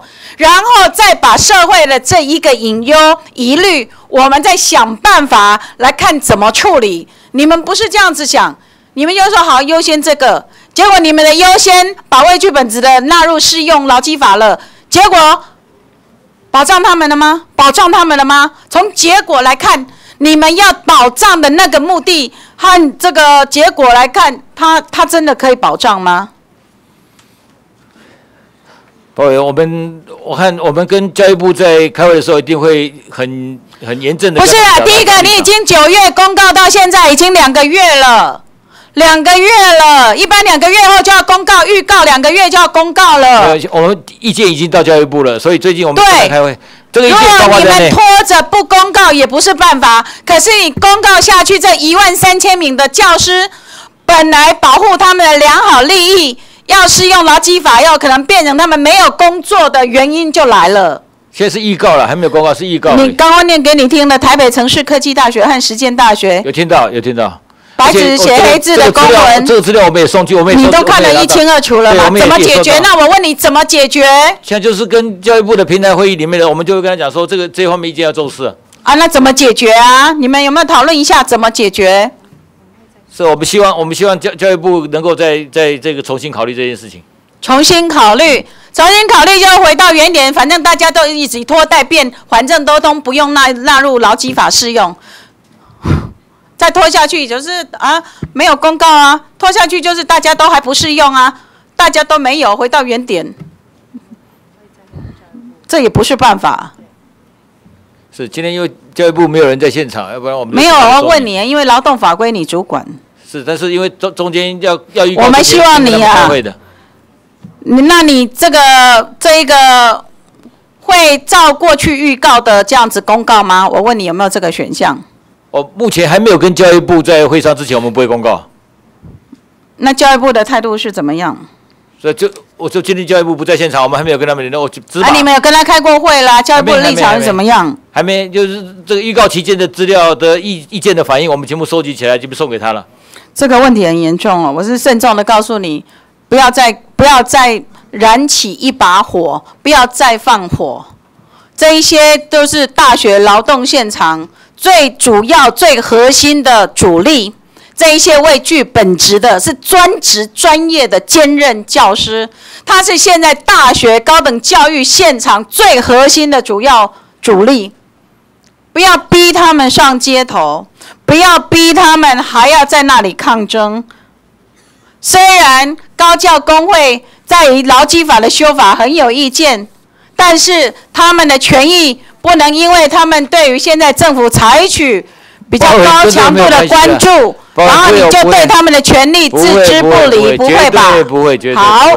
好，很好。那我要问你植灾预防的问题。是植灾预防哦，我国的这个植植植灾保险啊，这个每次它的这个保险费率哦，三年精算一次。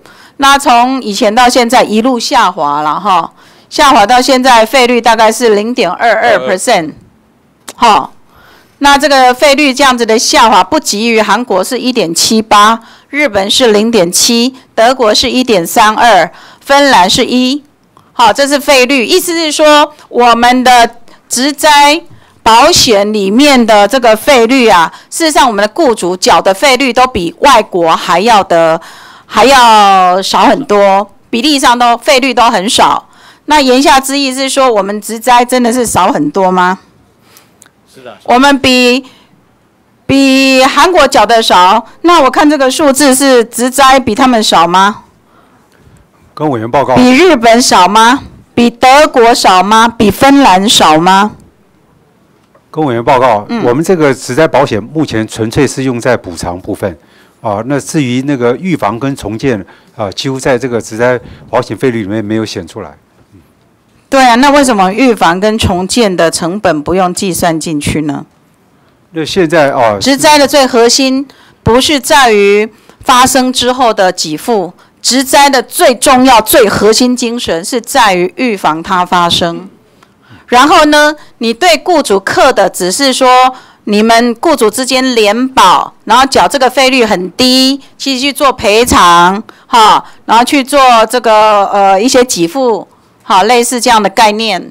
但是呢，我们更希望要把植灾的预防和重建、生活重建的这一个经费不用算下去吗？这可能才是整个植灾处理的最核心。一个是让它不要发生，另外一个是发生之后我们要提供他足够的资源去支撑起来，他作为一个人，在他的维持他的生活和他的家庭，不要被这一个职灾冲击到，让他降低到最低所要负担的那一个基本，呃，生活成本，要也要帮他重建，那这个费率不用算进去吗？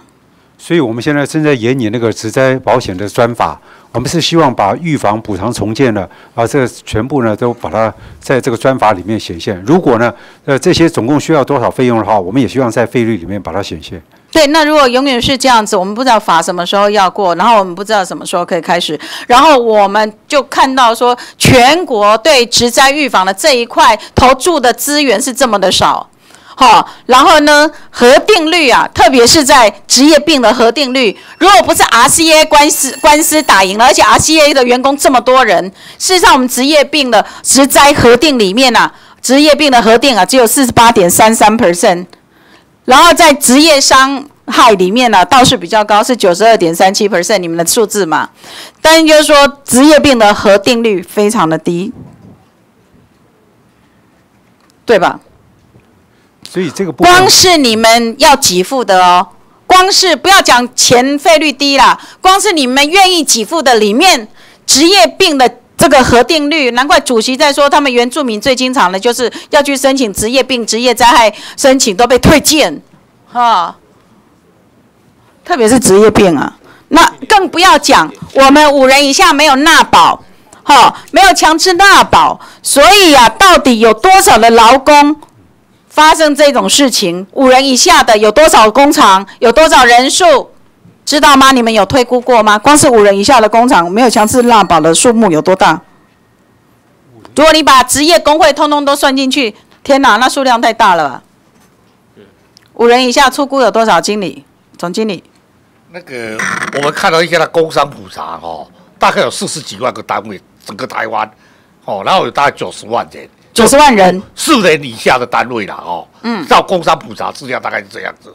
九十万人还是九四十万个单位，一个单位四个人的话是一百六十万人哦。他四到一啊，四到一啊，所以有可能是一，有可能所以你是除以你除以二，你乘以二。不是平均二点几秒到九十几万人，所以九十几万人上百万人哦，八百万的不是八百万的一百万，那也八分之一哦。那另外跟委员报告说，现在四人以下。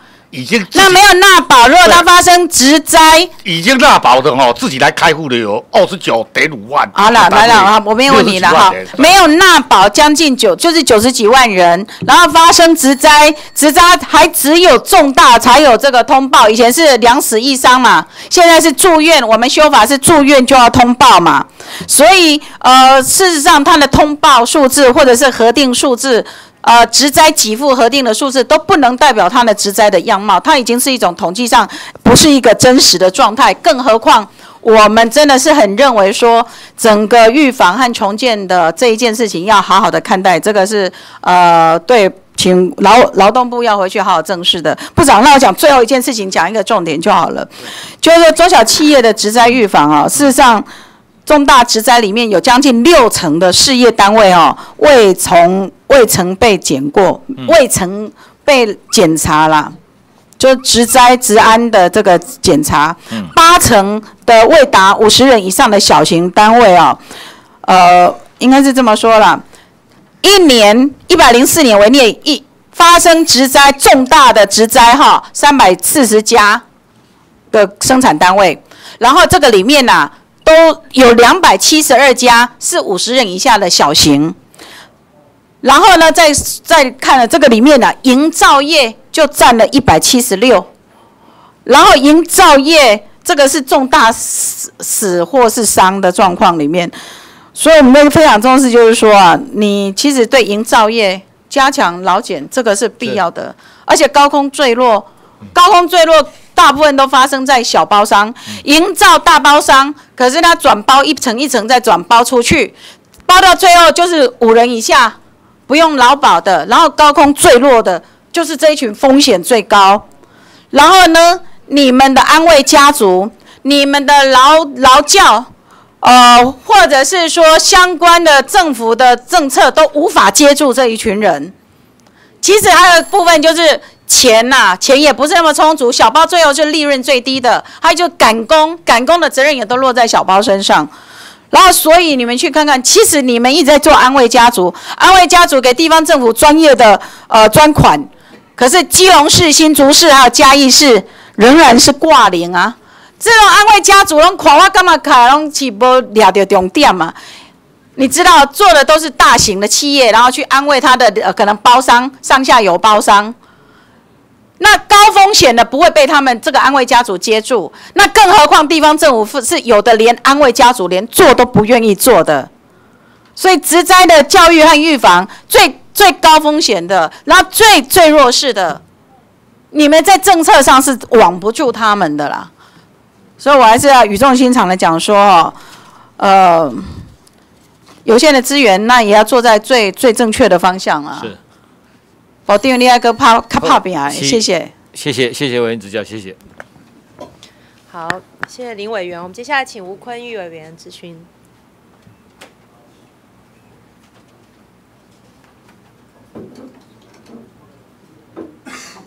好，主席哈，哎，请保定跟治安署的刘署长，好不好？跟刘署长。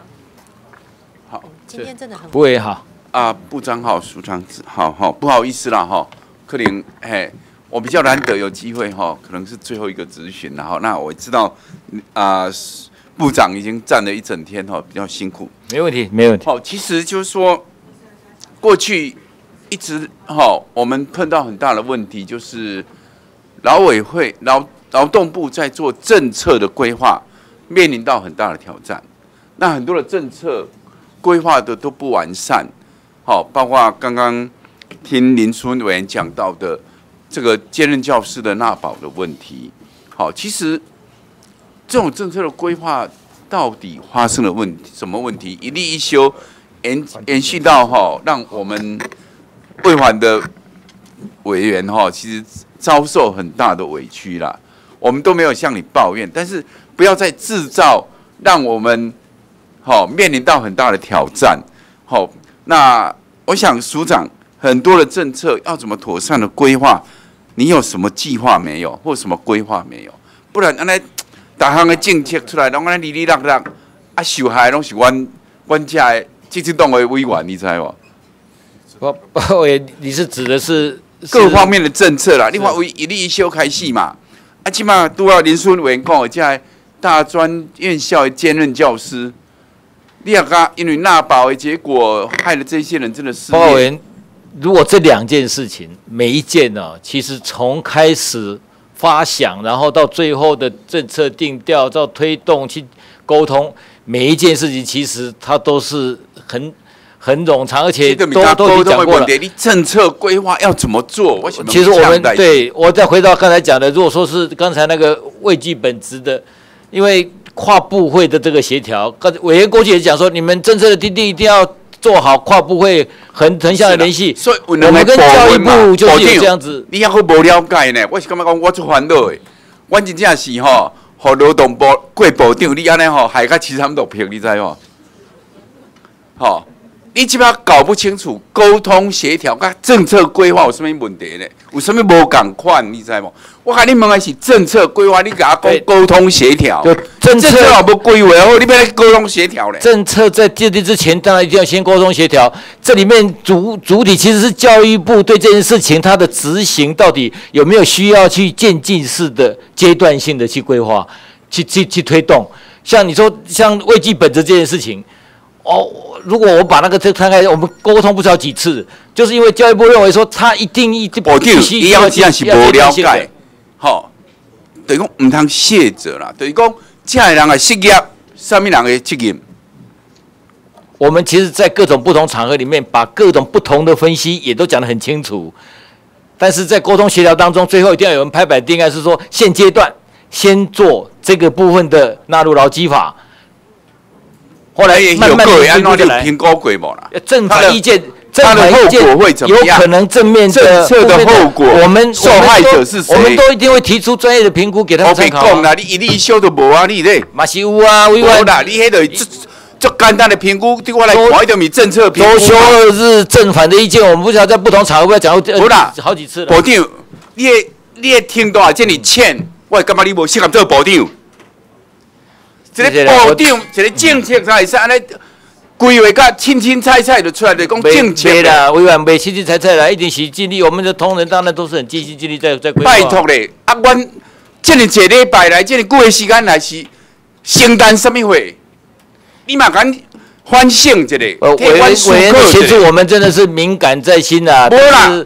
但是真的，我马拢会样讲敏感在心，拍写啦。你说政策规划，我们我们当然是期待的是讲，奥一届卖个安尼啦。没了没了，我拢我拢卖卖安尼，我起码听有林淑芬的咨询了，我嘛揣伫心内，你知无？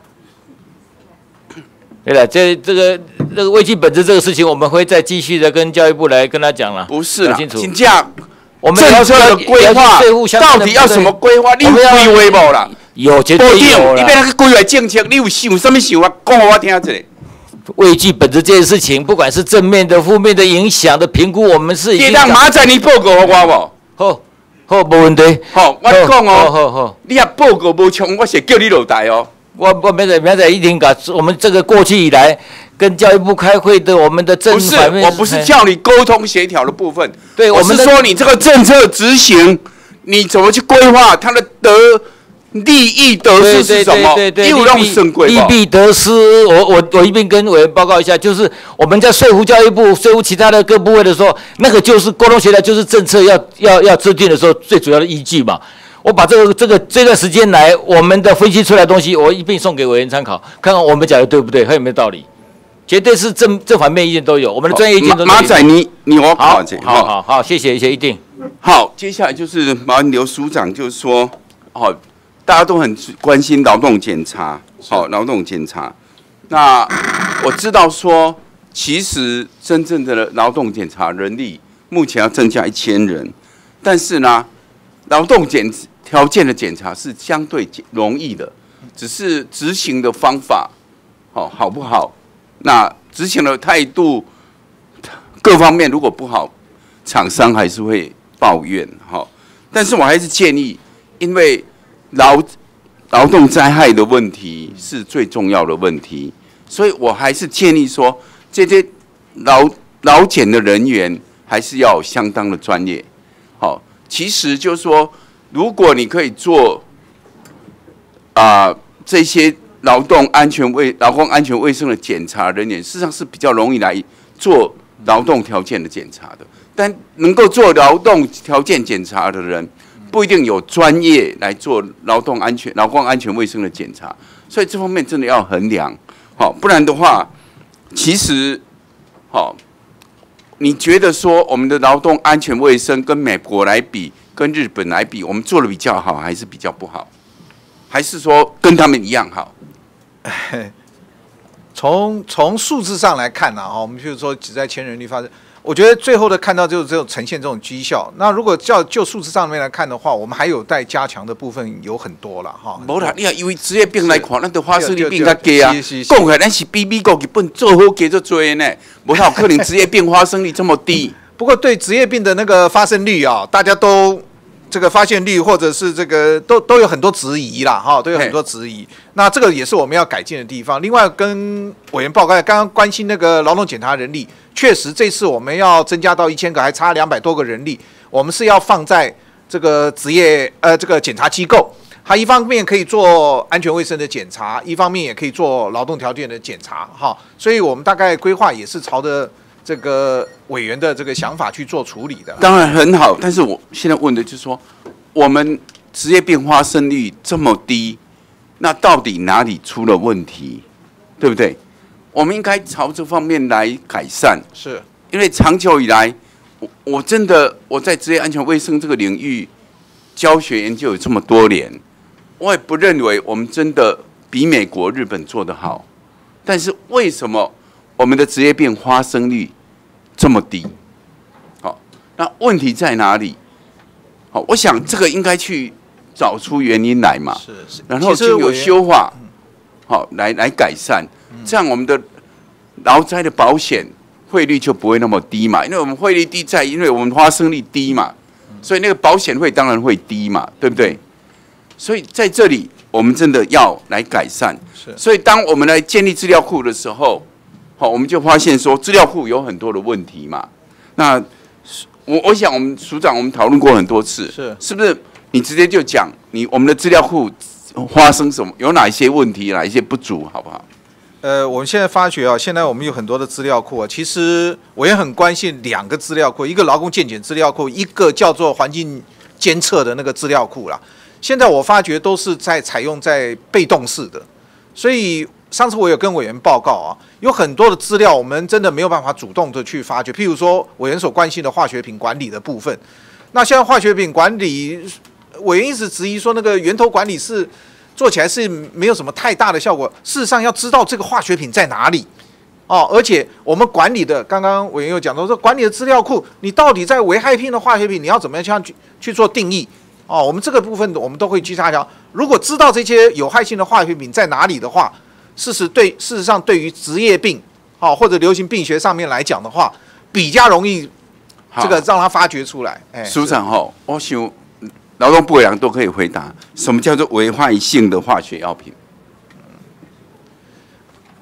嘿，目前目前来讲，我们有我们一方面定义啦。你们的定义是怎么样？十万种的化学品，大概有定义，大概一万九千种有有有害的化学品啊。但是另外还有分级去管理，说有害里面又有程度上的差别。我我知道是有根据国际阶哈国际的分类来标示分级啊，但是。什么叫危害性的化学品？其实我们有设定标准的，没有一万七千多种啊，所以不可能我们有归类为一千一万七千多种。大概好，我们现在在标准里面的，譬如说那个劳工铺路标准的那个是最最比较有害性的，那个大概 P E L 的，对 P E L 的有多少种？四百，对啊，对啊，对。所以我们自己都不清楚什么叫危害性化学物质啦。好，所以这个其实就是说，我们的专业真的要加强。是好，在不管是劳动。劳动职业安全卫生研究所或者治安署，我想我们的专业真的要加强，不然在所有化学药品的管理上，我们真的会有很多的漏洞。对那因为这样的漏洞可能会造成我们职业病的鉴定，好鉴定率就会很低了。这个我也跟委员有报告过，说在我们职业职业安全卫生署啊，有关化学品管理这个部分哈的这些检查人员或者专业人员，确实在分布上会有一些不平均的状状况。那当然，我们委员也给我们支持，说在这个是不是跟全序部啊，关于那个国考那个部分啊，能够加强他所谓职业卫生那个部分人员的那个分类了哈，这样子也许可以充实我们的相关专业的人才。是。再就是我们啊，个人采样或是环境监测的分析方法、采样方法，好，因为现在。分析方法可以很先进，但是我们的公告方法都已经很老旧。是这方面可能要跟对这个劳动安全卫生研究所、职业安全卫生研做合作，怎么来改善这些分析方法，好不好？不然的话，目前我们有害物质的铺路，目前很多厂商委托的结果、委托检测的结果都是第一侦测极限嘛。对，那这样反而是让我们的职业病没办法检出了。这个也请委员在预算上面给我们一些支持，因为我们。我们监测方法老旧，设呃这个这个这个去去采样的这个这个设备也很旧的，所以这个部分也请委员给我们一些支持了。好，这没有问题。如果真的有有有效的改善，提出需求，我个人一定是支持，甚至会请其他的委员来支持，是好不好？好，好，这方面就麻烦一下，好不好？谢谢，谢委员。好，嗯，接下来就是说哈，今天我们也听到所谓民事出高徒的那个计划了，保定。这个计划，你干嘛成效停了，停了，哎，已经成效好不好？不好，为什么不好？呃，包括他那个就业率也不好，然后他那种这个牢固关系哈，好像也没有很确定。对，啊，我是问原因啦，这是你讲的是结果嘛？哈，我想原因是安怎，它造成执行的执行的成效不好，他问题出在哪里？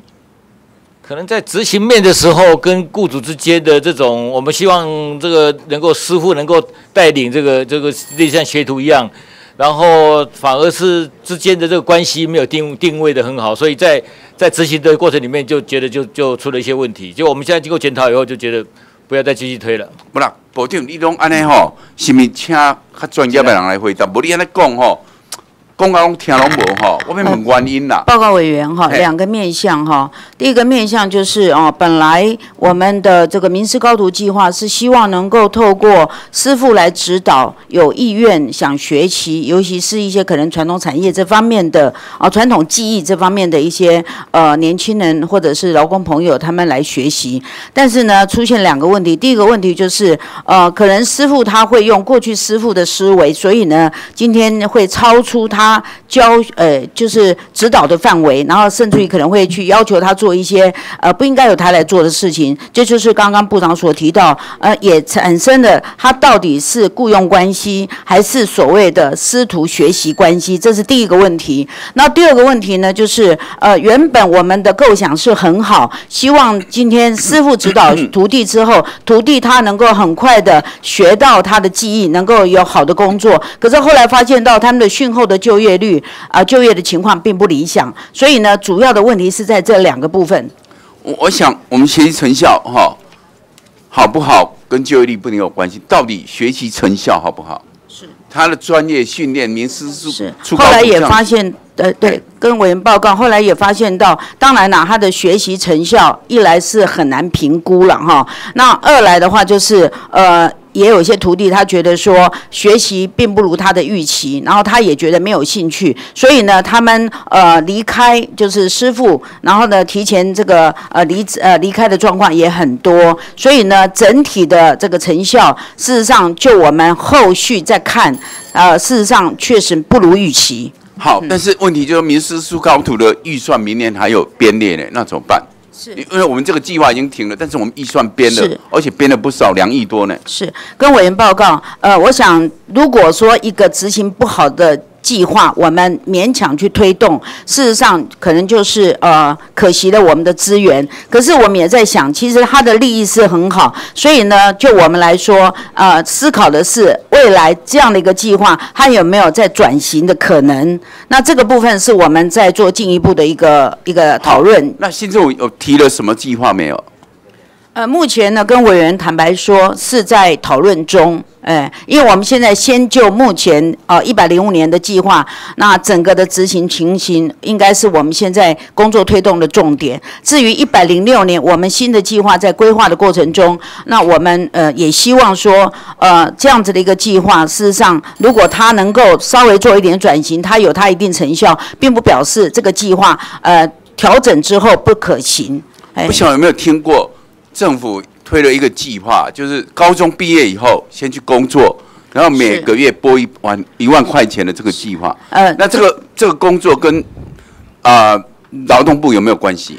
呃，这个计划其实劳动部我们提了一个就业的呃就业呃起领航计划。对啊领航那这个就业领航计划，它的呃重点就在于说，高中职毕业生他有可能不清楚自己的对。兴趣啊，自己未来适合从事什么样的工作，甚至于呢，我们不希望他们一昧的就只是跟着升学，那你练我知道到不好的科系，这样的话就浪费。是。希望说好好去检讨名师出出高徒的计划跟他执行成效，找出他失败的原因，然后我们在做领航计划的时候，能够针对这些缺点来改善、来预防，让领航计划不要再失败，是好呃确保它的成功，是那这样才对嘛。好，好所以我们真的要去彻底检讨，好不好？我们就业领航关的检讨计划报告，是马上送到我们办公室来，了解好不好谢谢。好，谢谢，谢谢。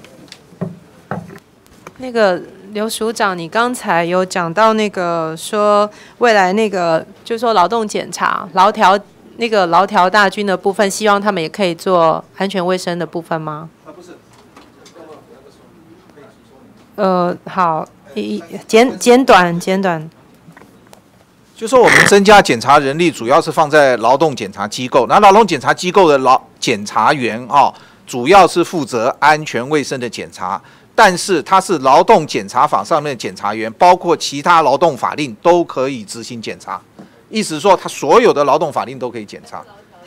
哎，劳条他不能去检查安全卫生，是好，没有，我特别要问这个，是因为你们的劳条大军训练一个礼拜就上路了，嗯，然后有很多的抱怨，很多的专业不足，然后态度又就是被人家质疑了。我们那个要一个月，那你们上面讲讲了一个礼拜，上次有问哦，不你，啊，那个是劳调。对，我在讲劳条啊，是是对啊，而且后续的这个教育训练，好像我目前也没有看到嘛。有，我们每年都有回流教育。那但是我要说明一下，就是说我们正式的那个劳动检查，也就劳动检查法上劳动检查完，我们每年是我们那个好，取得那那那检查证要个部分一个月我我没有太多问题，好，再跟您报告。好，谢谢。谢谢。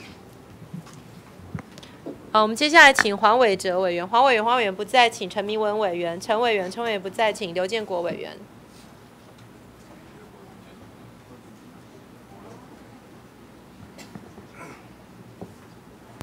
谢谢主席，有请部长。请部长。是，各位好，部长好。刚才有一个重大新闻的消息，复兴航空停飞。哦，这个讯息你有掌握到吗？嘿。然后一则报道，呃，媒体我的名称我就不讲了。一则报道是说，呃，民航局还没有找到董事长，所以还没帮我确认。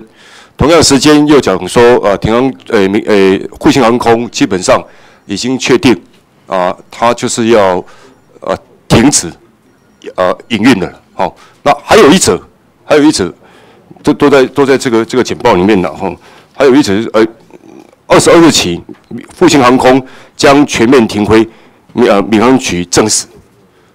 那我们劳动劳动部有掌握到最新的消息是什么吗？跟跟委员报告，我们刚刚知道消息以后，我们就一方面联络交通部，一方面也联络台北市政府。那目前为止，台北市政府劳工局也都在了解当中。那教育部呃交通部现在哈，也包括航政司跟民航局现在都在跟复兴航空在开闭门会议。目前为止，他不方便联络。不过呃，他们都表达是说，目前是看起来是明天确定会停飞一天。啊，至于后续的部分的话，我们会会后马上会再跟他了解他们的开会的状况。所以你们现在掌握的就是这样的讯息而已了。对对，也就是等他们开完会之后，你才知道进一步到底怎么样嘛。哈。那如果万一他真的停飞，甚至于停止营运，对，那会牵涉到复兴航空所有劳工的权利问题。那你们怎么应运？怎么处理？是包括员，呃，目前他总共员工哈，上个月的投保人数是一千七百九十五人，他的退休金的就这提拨的账户里面，现在的余额是三亿六千多万，呃，我们也刚才也尝试了跟复兴航空的人事部门的联络，他们很明确的表达是说，除了这三亿多，剩下的资遣费部分，他们有能力筹措，而且已经有筹措，为了万一真的不幸一定要做这样的处理的时候，他们有能力来处理。所以你问到他这样的问题，基本上他已经答复你这样，也就是说他们已经准备了啦。没有最坏的状况，最坏的状况嘛，对不对？好，那如果最坏的状况基本上有没有牵涉到这些劳工的相关权利的的情况之下，有没有涉及到大量解雇劳工保护法，对不对？我我们也跟他表达，如果你要大量解雇，一定要六十天前，如果没有的话，就该被处分。好，我们都跟他表达了。六十天前嘛，对不对？因为他超过五百人以上，对，所以在第二条里面明文规定。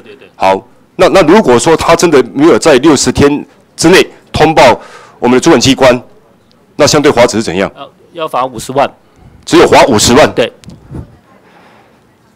这有有没有符合比例？一千五百个员工，他可能生计未来基本上呃不晓得什么状况，好、他可能未来就是没办法再继续工作了。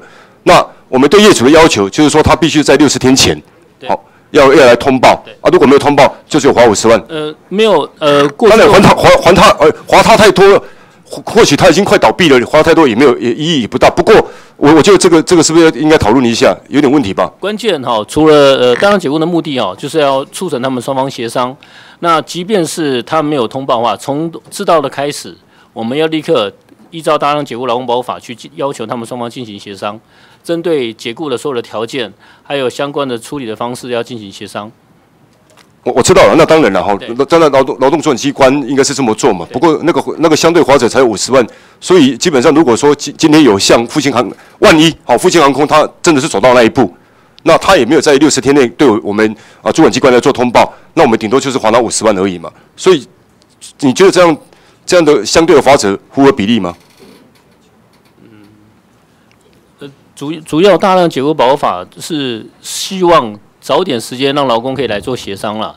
那如果他没有这样做的话，我们又希望他把解雇日期再往后延。也就是说，呃，他就算在这时候要做大量解雇，那他就把解雇日期往后延，然后大家慢慢的协商解雇所有的东西，然后在这个一两个月当中把它协商出来。过去也是有同样这样的例子，就是让雇主雇佣他的时间再长一点，往后延。只是说这一两个月他真的没有工作，解雇日期再往后延，所以一并规避那五十万的罚款。没有，就说我们的目目的是让他目的是让他协商，他已经违法了。对，但违法了没有错，但是我们是希望让员工在这段时间内，主要是协商。他的当然解雇劳动报法最主要目目的就是说，让员工跟雇主在这段时间好好来协商，因为涉及到的东西非常多。那这时候日他马上提出来以后呢，我们希望他我我我现在其实其实市长我问的很很单纯很简单嘛，对不对？如果说这么这么呃这么多员工的这样公司，然后又是上市的公司，基本上他确实做了最坏的打算，他准备停止营业，然后呢又牵涉到这么员工，我们还有很多后续的问题。但是现阶段，如果说依照《当然解雇劳工保护法》，他只是呃不到六十天，呃未不就六两个月内，他未通报主管机关，那我们只划一个五十万，这样有符合比例吗？在这样后续如果相关的一些一些一些大型的公司也诚如就呃富强航空这样的一个模式在做处理，那我们这样的相对划者的比例是对吗？我是要请教你这样啊。呃，不，如果涉及到如果这个法如果呃罚则不够重的话，当然这个法我们再来思考未来在未达这个部分的话，该怎么样提高法则，我们会来再来严厉这样的一个这样的一个方向。我希望部长跟市长呃准备应应应这个事情吧，我觉得这个事情太离谱吧，而且在现阶段，而且到现在为止，媒体都已经披露出来，然后市长也打电话去问他，他呃也感觉这种答复方式也已经准备了最坏的打算。那如果身为劳动主管机关第一时间没有掌握到，那未来这一千五百多位员工真的是何去何从啊？是我们马上去掌握这个情况。呃，哦，五十万真的是在比例上，我觉得是不合不符合比例的。呃，不过过去好像我们也可以限制他的这个负责人的出境嘛，哈。类似像类似其他的可以去处理的，我们一一并来来考虑看怎么处理。好了，我就请劳动部要积极的来应应这个事情了，好不好？好，谢谢。那接下来就请一下呃请教部长了哈，因为我们今天这这主要是针对预算的一个一个垂询嘛哈。那刚才呃吴委员特别有提到民事出高图，好，那你觉得那个成效不彰，所以就停起来嘛？那我们现在明发年展署经过评估以后，好，OK，是成效不彰明年度又有一个十八岁先工作，再进修，然后设教育账户的问题，哦，也就是说，部长你到底认不认同十八岁先工作，然后再进修，教育这个这有设一个教育专户这样的一个政策，因为目你认同吗？前，因为目前这个政策在在初期是用五千个人嘛，对。我觉得去让五千个人他呃先去就业，然后明了自己未来的要就学的他的他的这个方向，我觉得这是一个还不错的一个措施。还不错一个措施的哈。那那我们是把它当成一个示范计划在走，呃，还是未来就是朝向这样？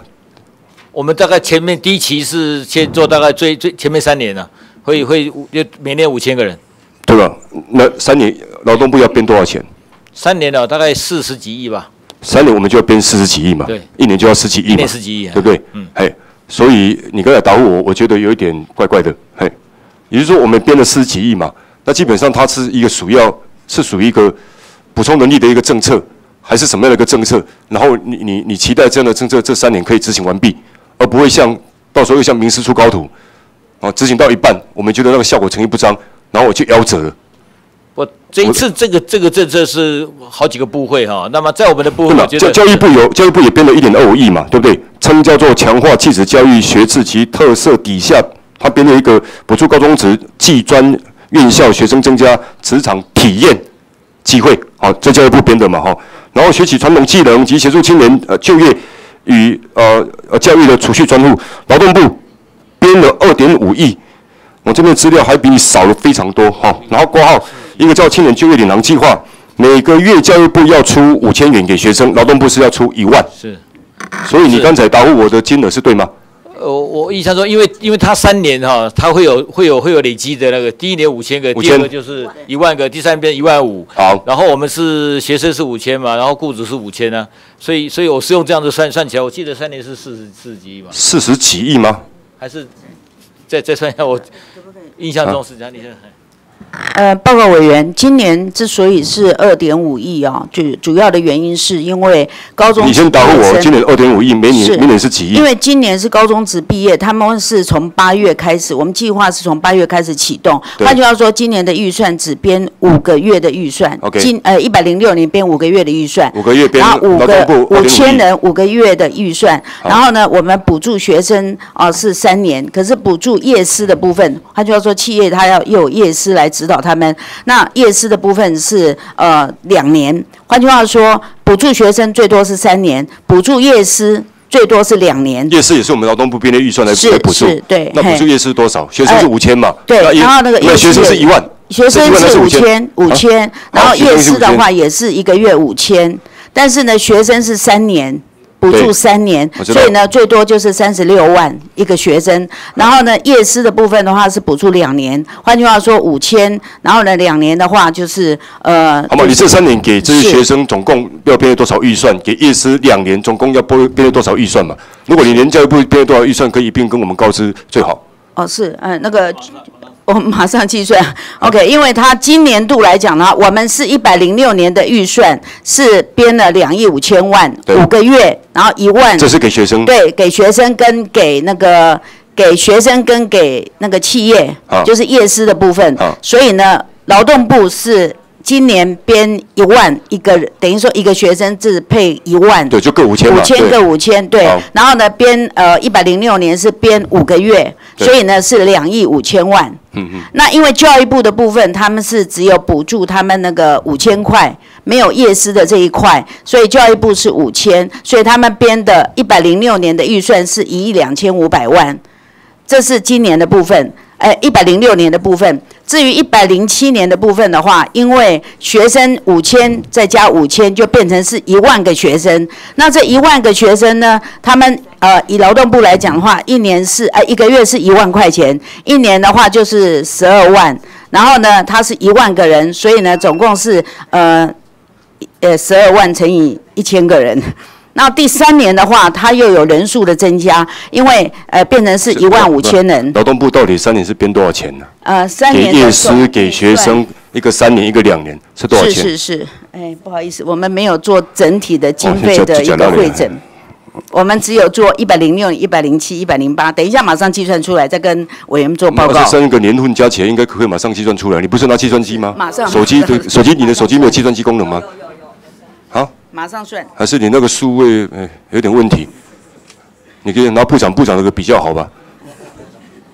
就我我我一直让你讲嘛，对不对？应该马上可以算出来嘛。对，哎呀不好意思。如果如果算出来之后之后跟部长讲的差异太多，这部长就该打屁股了。哎呀，对不起，我那个是政治评议项。教部长教育部出钱，劳动部也出钱了哈。然后劳动部也也在给雇主五千呢，那雇主要不要出钱？要出多少？雇主在这里面好像是因为他要负责要没没有叫好像，明年就要执行，预算你就编了呢。他对他他纯粹他就付薪水啊。他就付薪水而已，所以他也不用再特别编列对对等的对等的金的，因为他坦白讲，我我听起来是已经不用了嘛，因为还劳动部给他五千嘛，对不对？是是是那那那劳雇主就动部没有了跟。教育部的钱就把它存起来，然后他可以领那个薪水啊。他他不能领这个学生不能领这一这一万块钱，他就放在账户里面。报告委员，我可以补充说明吗。请说了，哎，因为雇主雇佣这些学生，他现在大部分都已经有劳基法适用，所以呢，这些学生他们从雇主这里是领到工资。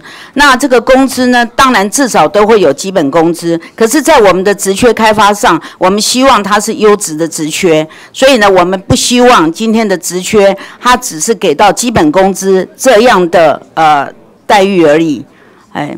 所以简单的我你现在讲的就很正确，对我我在担忧了嘛，对不对？是会不会又创造另一波二十二 K？呃，我们现在是这次的计划在执行上，它先由各部会找十五 K。各部会先去找优质的职缺，好，所以呢，这个计划是跨部会合作。我我知道啊。对但是但是劳动部是大头嘛，呃，我们是负责做就业媒合的工作，是，哎，就业媒合的工就业没有作，工作，相对的我们的呃呃补助的经费框列是最多的嘛，对不对？呃，是是吗？是哎呀，对所以所以主责应该是在劳动部啊，对，呃，创主责的单位是主责单位是教育部，主责单位是教育部，教育部那边的经费比我们更少。呃，教育部它本身只是针对学生，对啊可是就劳动部来说，一个没有工作经验的学生要到企业里面去实习，我们又不希望他永远做的都是比较低阶的工作，所以在这样的一个情况之下，我们才会有夜师的这个预算的编列跟呃这个计划涵盖在里面。你会不会？我我刚才讲的说，我的担忧会不会发生嘛？就像你刚才讲的那个担忧嘛，会不会发生？我们认为应该不会发生，应该不会发生。所以平均这些学生第一批明年的五个月，这些学生基本上啊、先工作，是好，然后然后再呃再再进修，他们在这个职场应该平均每一个人可以领多少钱？呃，以目前各部会他们所提出来的职缺，当然，呃，他的金呃就是薪资会有差异。当然那有些部会他们目前找到的职缺，他可能甚至于三万、三万五以上。对，好，最低的呃，最低大概也有所谓的两万五。两万五，是所以平均应该有三万，呃，我们是希望能够达到这样的一个水准这样的一。个目标。是是。先工作嘛，哈，再进修。那顾名思义，就是工作完之后再学回到学校进修。那这笔存在教育账户的钱然后如果不继续升学，领得到吗？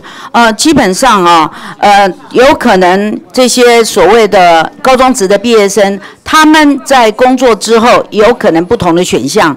第一个选项，他可能回到学校去念书，但至少他知道他适合念或喜欢念什么样的科系。所以呢，对他来讲，那我想这段时间以他来说，至少可以领到三十六万。那这个金额呢，对他来说就是可以解决他贷款的问题，或者他生活费用的问题。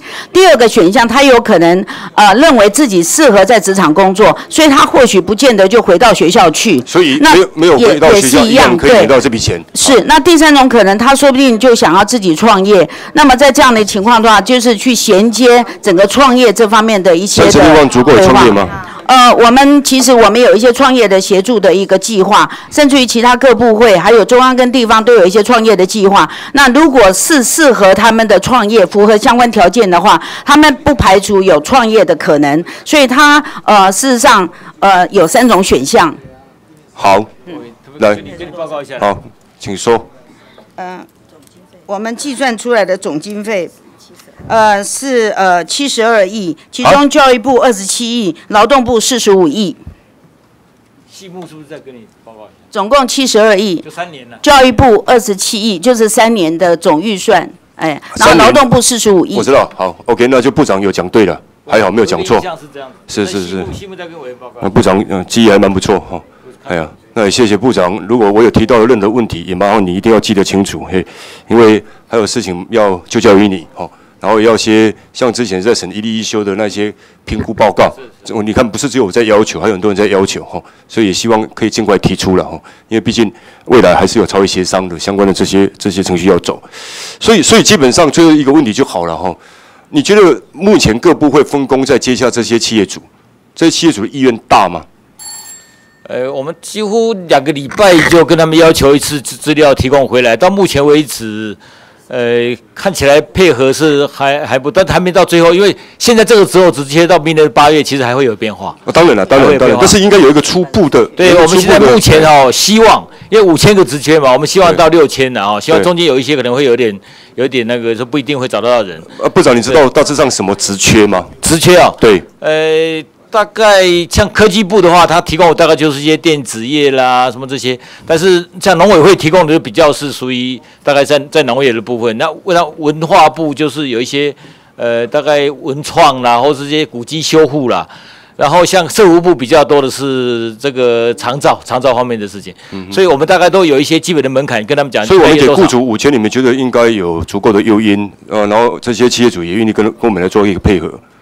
到目前为止啊，我觉得我觉得还需要去第一个在学校里面去宣导。啊，然后以后以后看学生也要有意愿才可以，因为联合是我们在做嘛，对。所以可能明年明年初是一个联合的关键啊。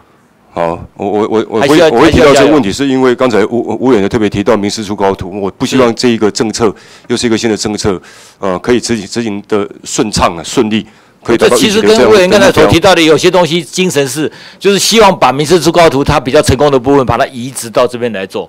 啊，以前那那边比较不好的，我们就就避免掉这样。我我们是在这部这一次的预算里面就已经框列了嘛，对不对？是是。所以在审预算的时候，你们要解释的清楚啊，要胸有成竹吧。好是谢谢，OK，谢谢。好，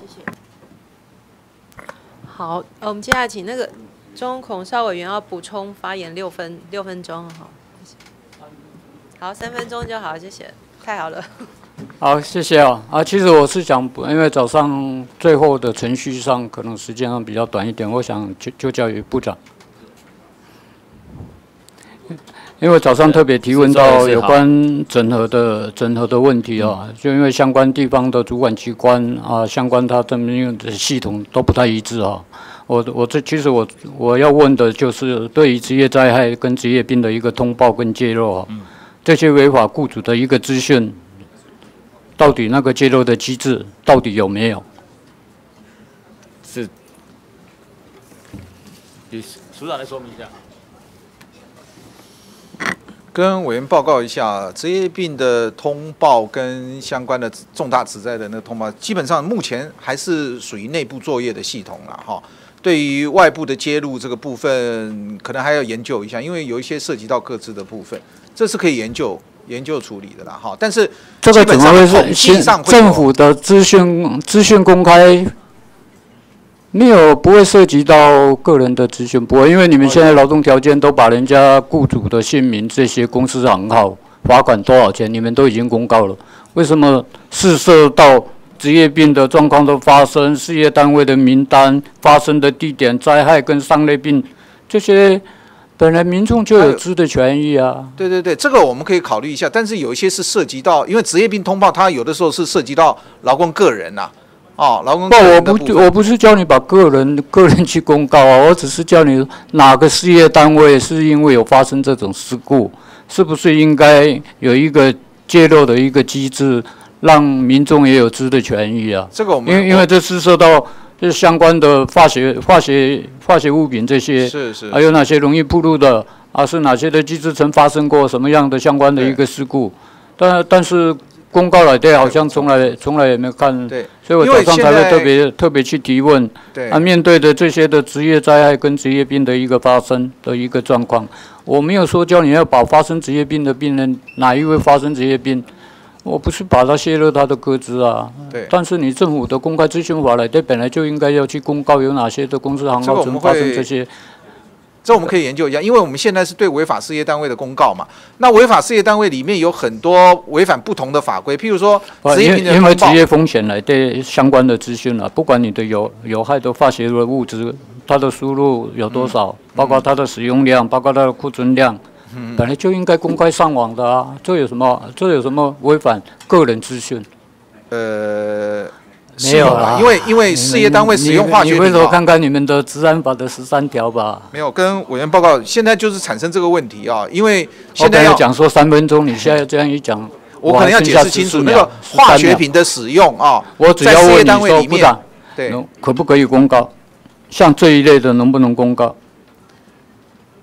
我要跟，我跟我跟我跟委员报告一下，因为化学品的使用有些是涉及商业机密的问题，他要。他要去做处理，你完全去公告，这个我们可以研究一下了。哎哎，职业病跟职业灾害发生的状况啊，包括职业职业暴露的一个风险相关的资讯，职业灾害的暴露的一个风险相关的资讯。当然，我只是举个例，包括化学物质的这些，通通都，我不是说进入化学物质的哪一些公司就要就要公告，我不是这个意思哎。那委员是说，他使他事业单位使用什么化学品？他有公开揭露的那个是跟员工公开揭露了，哎，但是对大啊，我讲比较快一点了，增加违反的类别，包括后续的一个改善追踪，这跟那个系统的开放的资料绝对是有关系的，你认不认同？这我们来研究一下好吗？哎，我们去研究，就现在研究研究要多久？你总一个时间给我吧。呃，刚刚有讲到我，因为早上我问你，你也是研议啊。我我一个月，我把相关的那个东西详细情况跟委员报告一下。我我在一个月里面尽快的跟委员报告，好不好？我总要先研究一下里面的相关，因为我们现在只有违法事业单位的公告啊，哦，公开揭露了哈。其他的那个在通报的系统里头，目前是没有法令强制要要要公开这个揭露这个信息。因为你现在揭露的是劳动条件师的那相关相关的这些的公司行号类别可以给。但是并没有说你的劳动检查的结果不能公告。这样你懂吗？但是劳动检查公结果公告就的职业安违反职业安全卫生法的，是是是为什么不能公告？有啊有啊，但是我们只有公告一些特定的项目啊，那是法上面规定只能公告这个，不然的话把其他的事情公告出来，那涉及到行政处分呐、这个要研究一下。我没有说，我没有说说是个人的部分啊，哦，哪一个的公司连事业单位的相关资讯可能都涉及行政处分。对，呃，你的困难到底在哪里？我在开机就嘛讲讲的呀。就是现在法定法定公告法定有哪一在个呢？我刚刚就跟你讲说十三条，你翻一下《治安法》十三条，念两毛一点？我本来就无爱讲啊，你硬要讲，时间到啊呢，人家十三条啊，这个制造者或输入者对中央主管机关公告之化学品清单以外之新化学物质，未向中央主管机关缴交化学品安全评估报告，并经核准登记前，不得制造或输入含有该物质之化学品。但其他法律已规定，经中央或中央主管机关公告不适用者，不不在此限。前项评估报告中央主管机关为防止危害工作者安全及健康，于审查后得予公开。对呀，啊，你听有哦，是不是可以公告？他一定要一定要一定要你念条文，啊，呃头前公告贵啊，我就是要你后面那一段，啊，你是给我讲公家也袂使啊，袂使，没有，这是针对那个化学物质啦。是吧？哎，我刚刚讲的你还要我再重复吗？因为你刚刚我跟你讲那些包括化学物品的这些的步入的这些，你得给他公告。那个公司函告要进口化学，那个也要公告。我就跟你讲说那个十三条，好，好看那十三条了。还是要求你一定要把东资料给我。好，资讯能不能公开？一个我会研究一下，跟跟您报告一下。好，好，那个吴吴坤玉委员补充五分钟哈，那个好，谢谢主席哈你们。啊，麻烦请那个黄秋桂署长还有部长哈。那黄署长，我刚刚听您你们你们那个领航计划你们回，等一下，不好意思，你们那个回答委员，麻烦要精确哦，不要节外生枝，又变延长时间了，好吗？大家都没有要求要很长，只有要求三五分钟的补充发言，但是你们自己不要搞到很长。好，谢谢。嘿，我听了以后哈，我我是蛮有兴趣，也蛮担心的啦哈，因为这个计划出来，有人说，那现在二十二 K 会不会以后变十 K 啦哈？因为一万块钱嘛，哦，高中生。但是黄署长，您刚刚说现在在接洽的这个高中生毕业生的薪水到公司里面会有两万五到三万五，好啊，你刚刚又讲说有一些是农业，可能到农场或是农田去帮忙。我我是农家子弟呢，啊，一个高中生要个怎样做产，应征到去农场，一年一个月可以最少拿两万五，你把我惊掉嘞。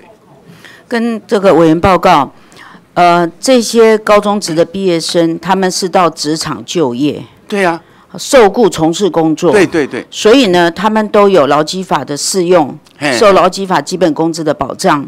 那因为明年一月开始，我们的基本工资就是二一零零九，所以等于说这些孩子他们到事业单位去工作，至少他有基本工资保障，所以他的工资至少是两万一千零九块。哎，哦，那对他至少有基本工资保障，因为他是受雇。哎，好啊，你们对业者有没有什么考核的机制，或是有什么资格限制没有？是针对我们所呃补助的夜师的五千块的部分，我们当然有考核的机制，因为我们必须要确认，呃，每个一个学生就是一个夜师，因为他是到事业单位去工作，所以一个学生是一个夜师。啊，夜师有什么条件？呃，夜师的条件，呃，我们现在相关的规定还在这个研拟中，啊但是这个方向很清楚。你知道吗？哎我以前在斗六的一家最大的鞋厂做过，那个是加工生产线呐、我一个生产线里面有十一二十个工作人员，那我就安排这生产线的一二十个工作人员，我都当把它当做夜师。那我一个生产线就一个人就可以多赚一年多赚六万块钱。我一个生产线一年六乘以二十就一百二十万。我只要四条生产线，我一个公司中小企业，我一年可以多赚四百八十万。那我这样何乐而不为？但是这是我们定义的 A 四，这是要让高中生去学的东西吗？呃，跟委员报告，呃，高中职毕业生、应届毕业生，因为他们确实从学校毕业出来，所以呢，他其实没有工作经验，我知道，也没有工作能力，对，但是不要把它变成去加工厂去学加工，让这个企业主本来本业都无啥来赚钱，但是你赚到恁一个月一个人补助五千块，结果伊当然赚恁价钱都有够。对。呃，了解委员的意思啊，所以呢，现在就是由各部会他们一起提供优质的职缺。不是这个，我都那写作文，我都可以写说这个职缺多优厚，多好，学生可以多写多。当时我们在做名师出高徒的时候，作文也不是写的很漂亮吗？那为什么行做到一半要终止，说成效不彰？当时的作文还写的不够漂亮。不然无借钱借经费，安那骗来？嗯，当然，名师高徒的部分哦，最大的一个问题就在于说，这些徒弟跟师傅之间没有雇佣关系。当时的宣传，当时的计划书写的不够好吗？那现在我们写的计划书好不好？当然也很好。但是我们现在担心的就是说，写的这么漂亮的计划书，作文写的这么好。到时候落实结果会是怎么样？这是我们担心的。你不去谈这个，你连业者的考核成效要怎么去评估都没有出来。但是我们计划就快要做了呢，我们预算已经搬下去了呢。呃，报告委员，呃，事实上。所有各部会他们提出来的，包括哪家事业单位什么样的职缺，其实都必须要一起呈报出来，这是第一点。所以呢，委员刚担心的是他们是在从事什么样的个工作。那么，呃，跟委员报告就是这个计划本身对，一定会报起来嘛。了解。你别去审查，什么去到现场去考核？拜托，我中小企业我都做过呢，我不知道你。职场的工作经验，对于中小企业，你毋捌食过套路无？你知影中小企业是安怎你你运作的无？啊，你们这样规划出来，在台北办公室做这样规划，到中南部去，到业者，到加工厂去，有法度落实无？这是我烦恼的代志。了解。谢谢委员的提醒哈。那么这个问题一定是我们一定会会想办法来把它。不啦，去年我想以前的陈雄文，你做领航计划嘛是一定安尼讲啦。我。计划写到这里后，就一定无问题，我一定法度落实，无我变来做部长，对无？但咱起码咪咧讲这水亏的话啦，咱只要交代的讲，咱要来去落实，咱要来去评估，确实这钱会用伫这少年的人身躯，互因会当学着功夫，互因发现因的兴趣，因的趣味，因知未来要创啥，这物件做会到不？啊，你检讨这，我作文做吧，我大学联考国文科三十七分尔，但是我听到恁这物件，我就知影讲。做危险的，你免啊讲讲，我这计划做会落去。这我国文，我中国文化基本教材，甲即阵四本我也未读了。但是我听人家作文，写汉的水，但我听起来都做危险的呢。哦，麻烦这个真正爱考虑怎么去落实，怎么去评估成果，好不好？了解，一定会，一定会，谢谢。好。呃，我们今天所有的询答哈，到此结束，我们不再接受登记了哈。那个，嗯，我们今天没有书，没有没有书面，那没有书面的质询，呃。如果这个咨询委员有要求资料的哈，请在定定的期限内回复哦。另外，呃，没有特定指定时间的，请在两周内。我另外补充两件事情哦，呃，我们应该在审完预算的时候呢，十二月应该还有好几次的机会排专案报告。那因为长期以来原住民劳工的问题哈，就是只有就比较。比较少人在关心啦。那我想在这个呃，我希望在我们这一届在这个部分哦，今天也很多委，特别是原住民籍的委员都有来咨询哦。所以我想针对这个跟大家先预告，那我希望你们花多一点时间做充分的准备哦，就是针对这个外劳政策对原住民的冲击和评估，那以及这个因应的这个措施哦。那这个，我想这样的专案报告，呃，我我一我一定会排哦。那我们未来要如何去提高？我不用，我不说降低失业率了，我是说提高哈原住民的就业率，我们比较正面积极一点，然后来降低它的职灾的这个发生哦。那还有这个原住民相关的这个资料库。的这些资料的建制哦，呃，应该要完整。那你们应该也是要跟，比如说教育部啦、原民会等等相关的部会哦，去做做一下整合。那呃，我想这样的专案包应该我们十二月份有机会排。我很早就预告，所以我希望那一天你们能够做好充充分的准备。那再来哈，呃，在本席质询的时候，我有特别问到，就是说。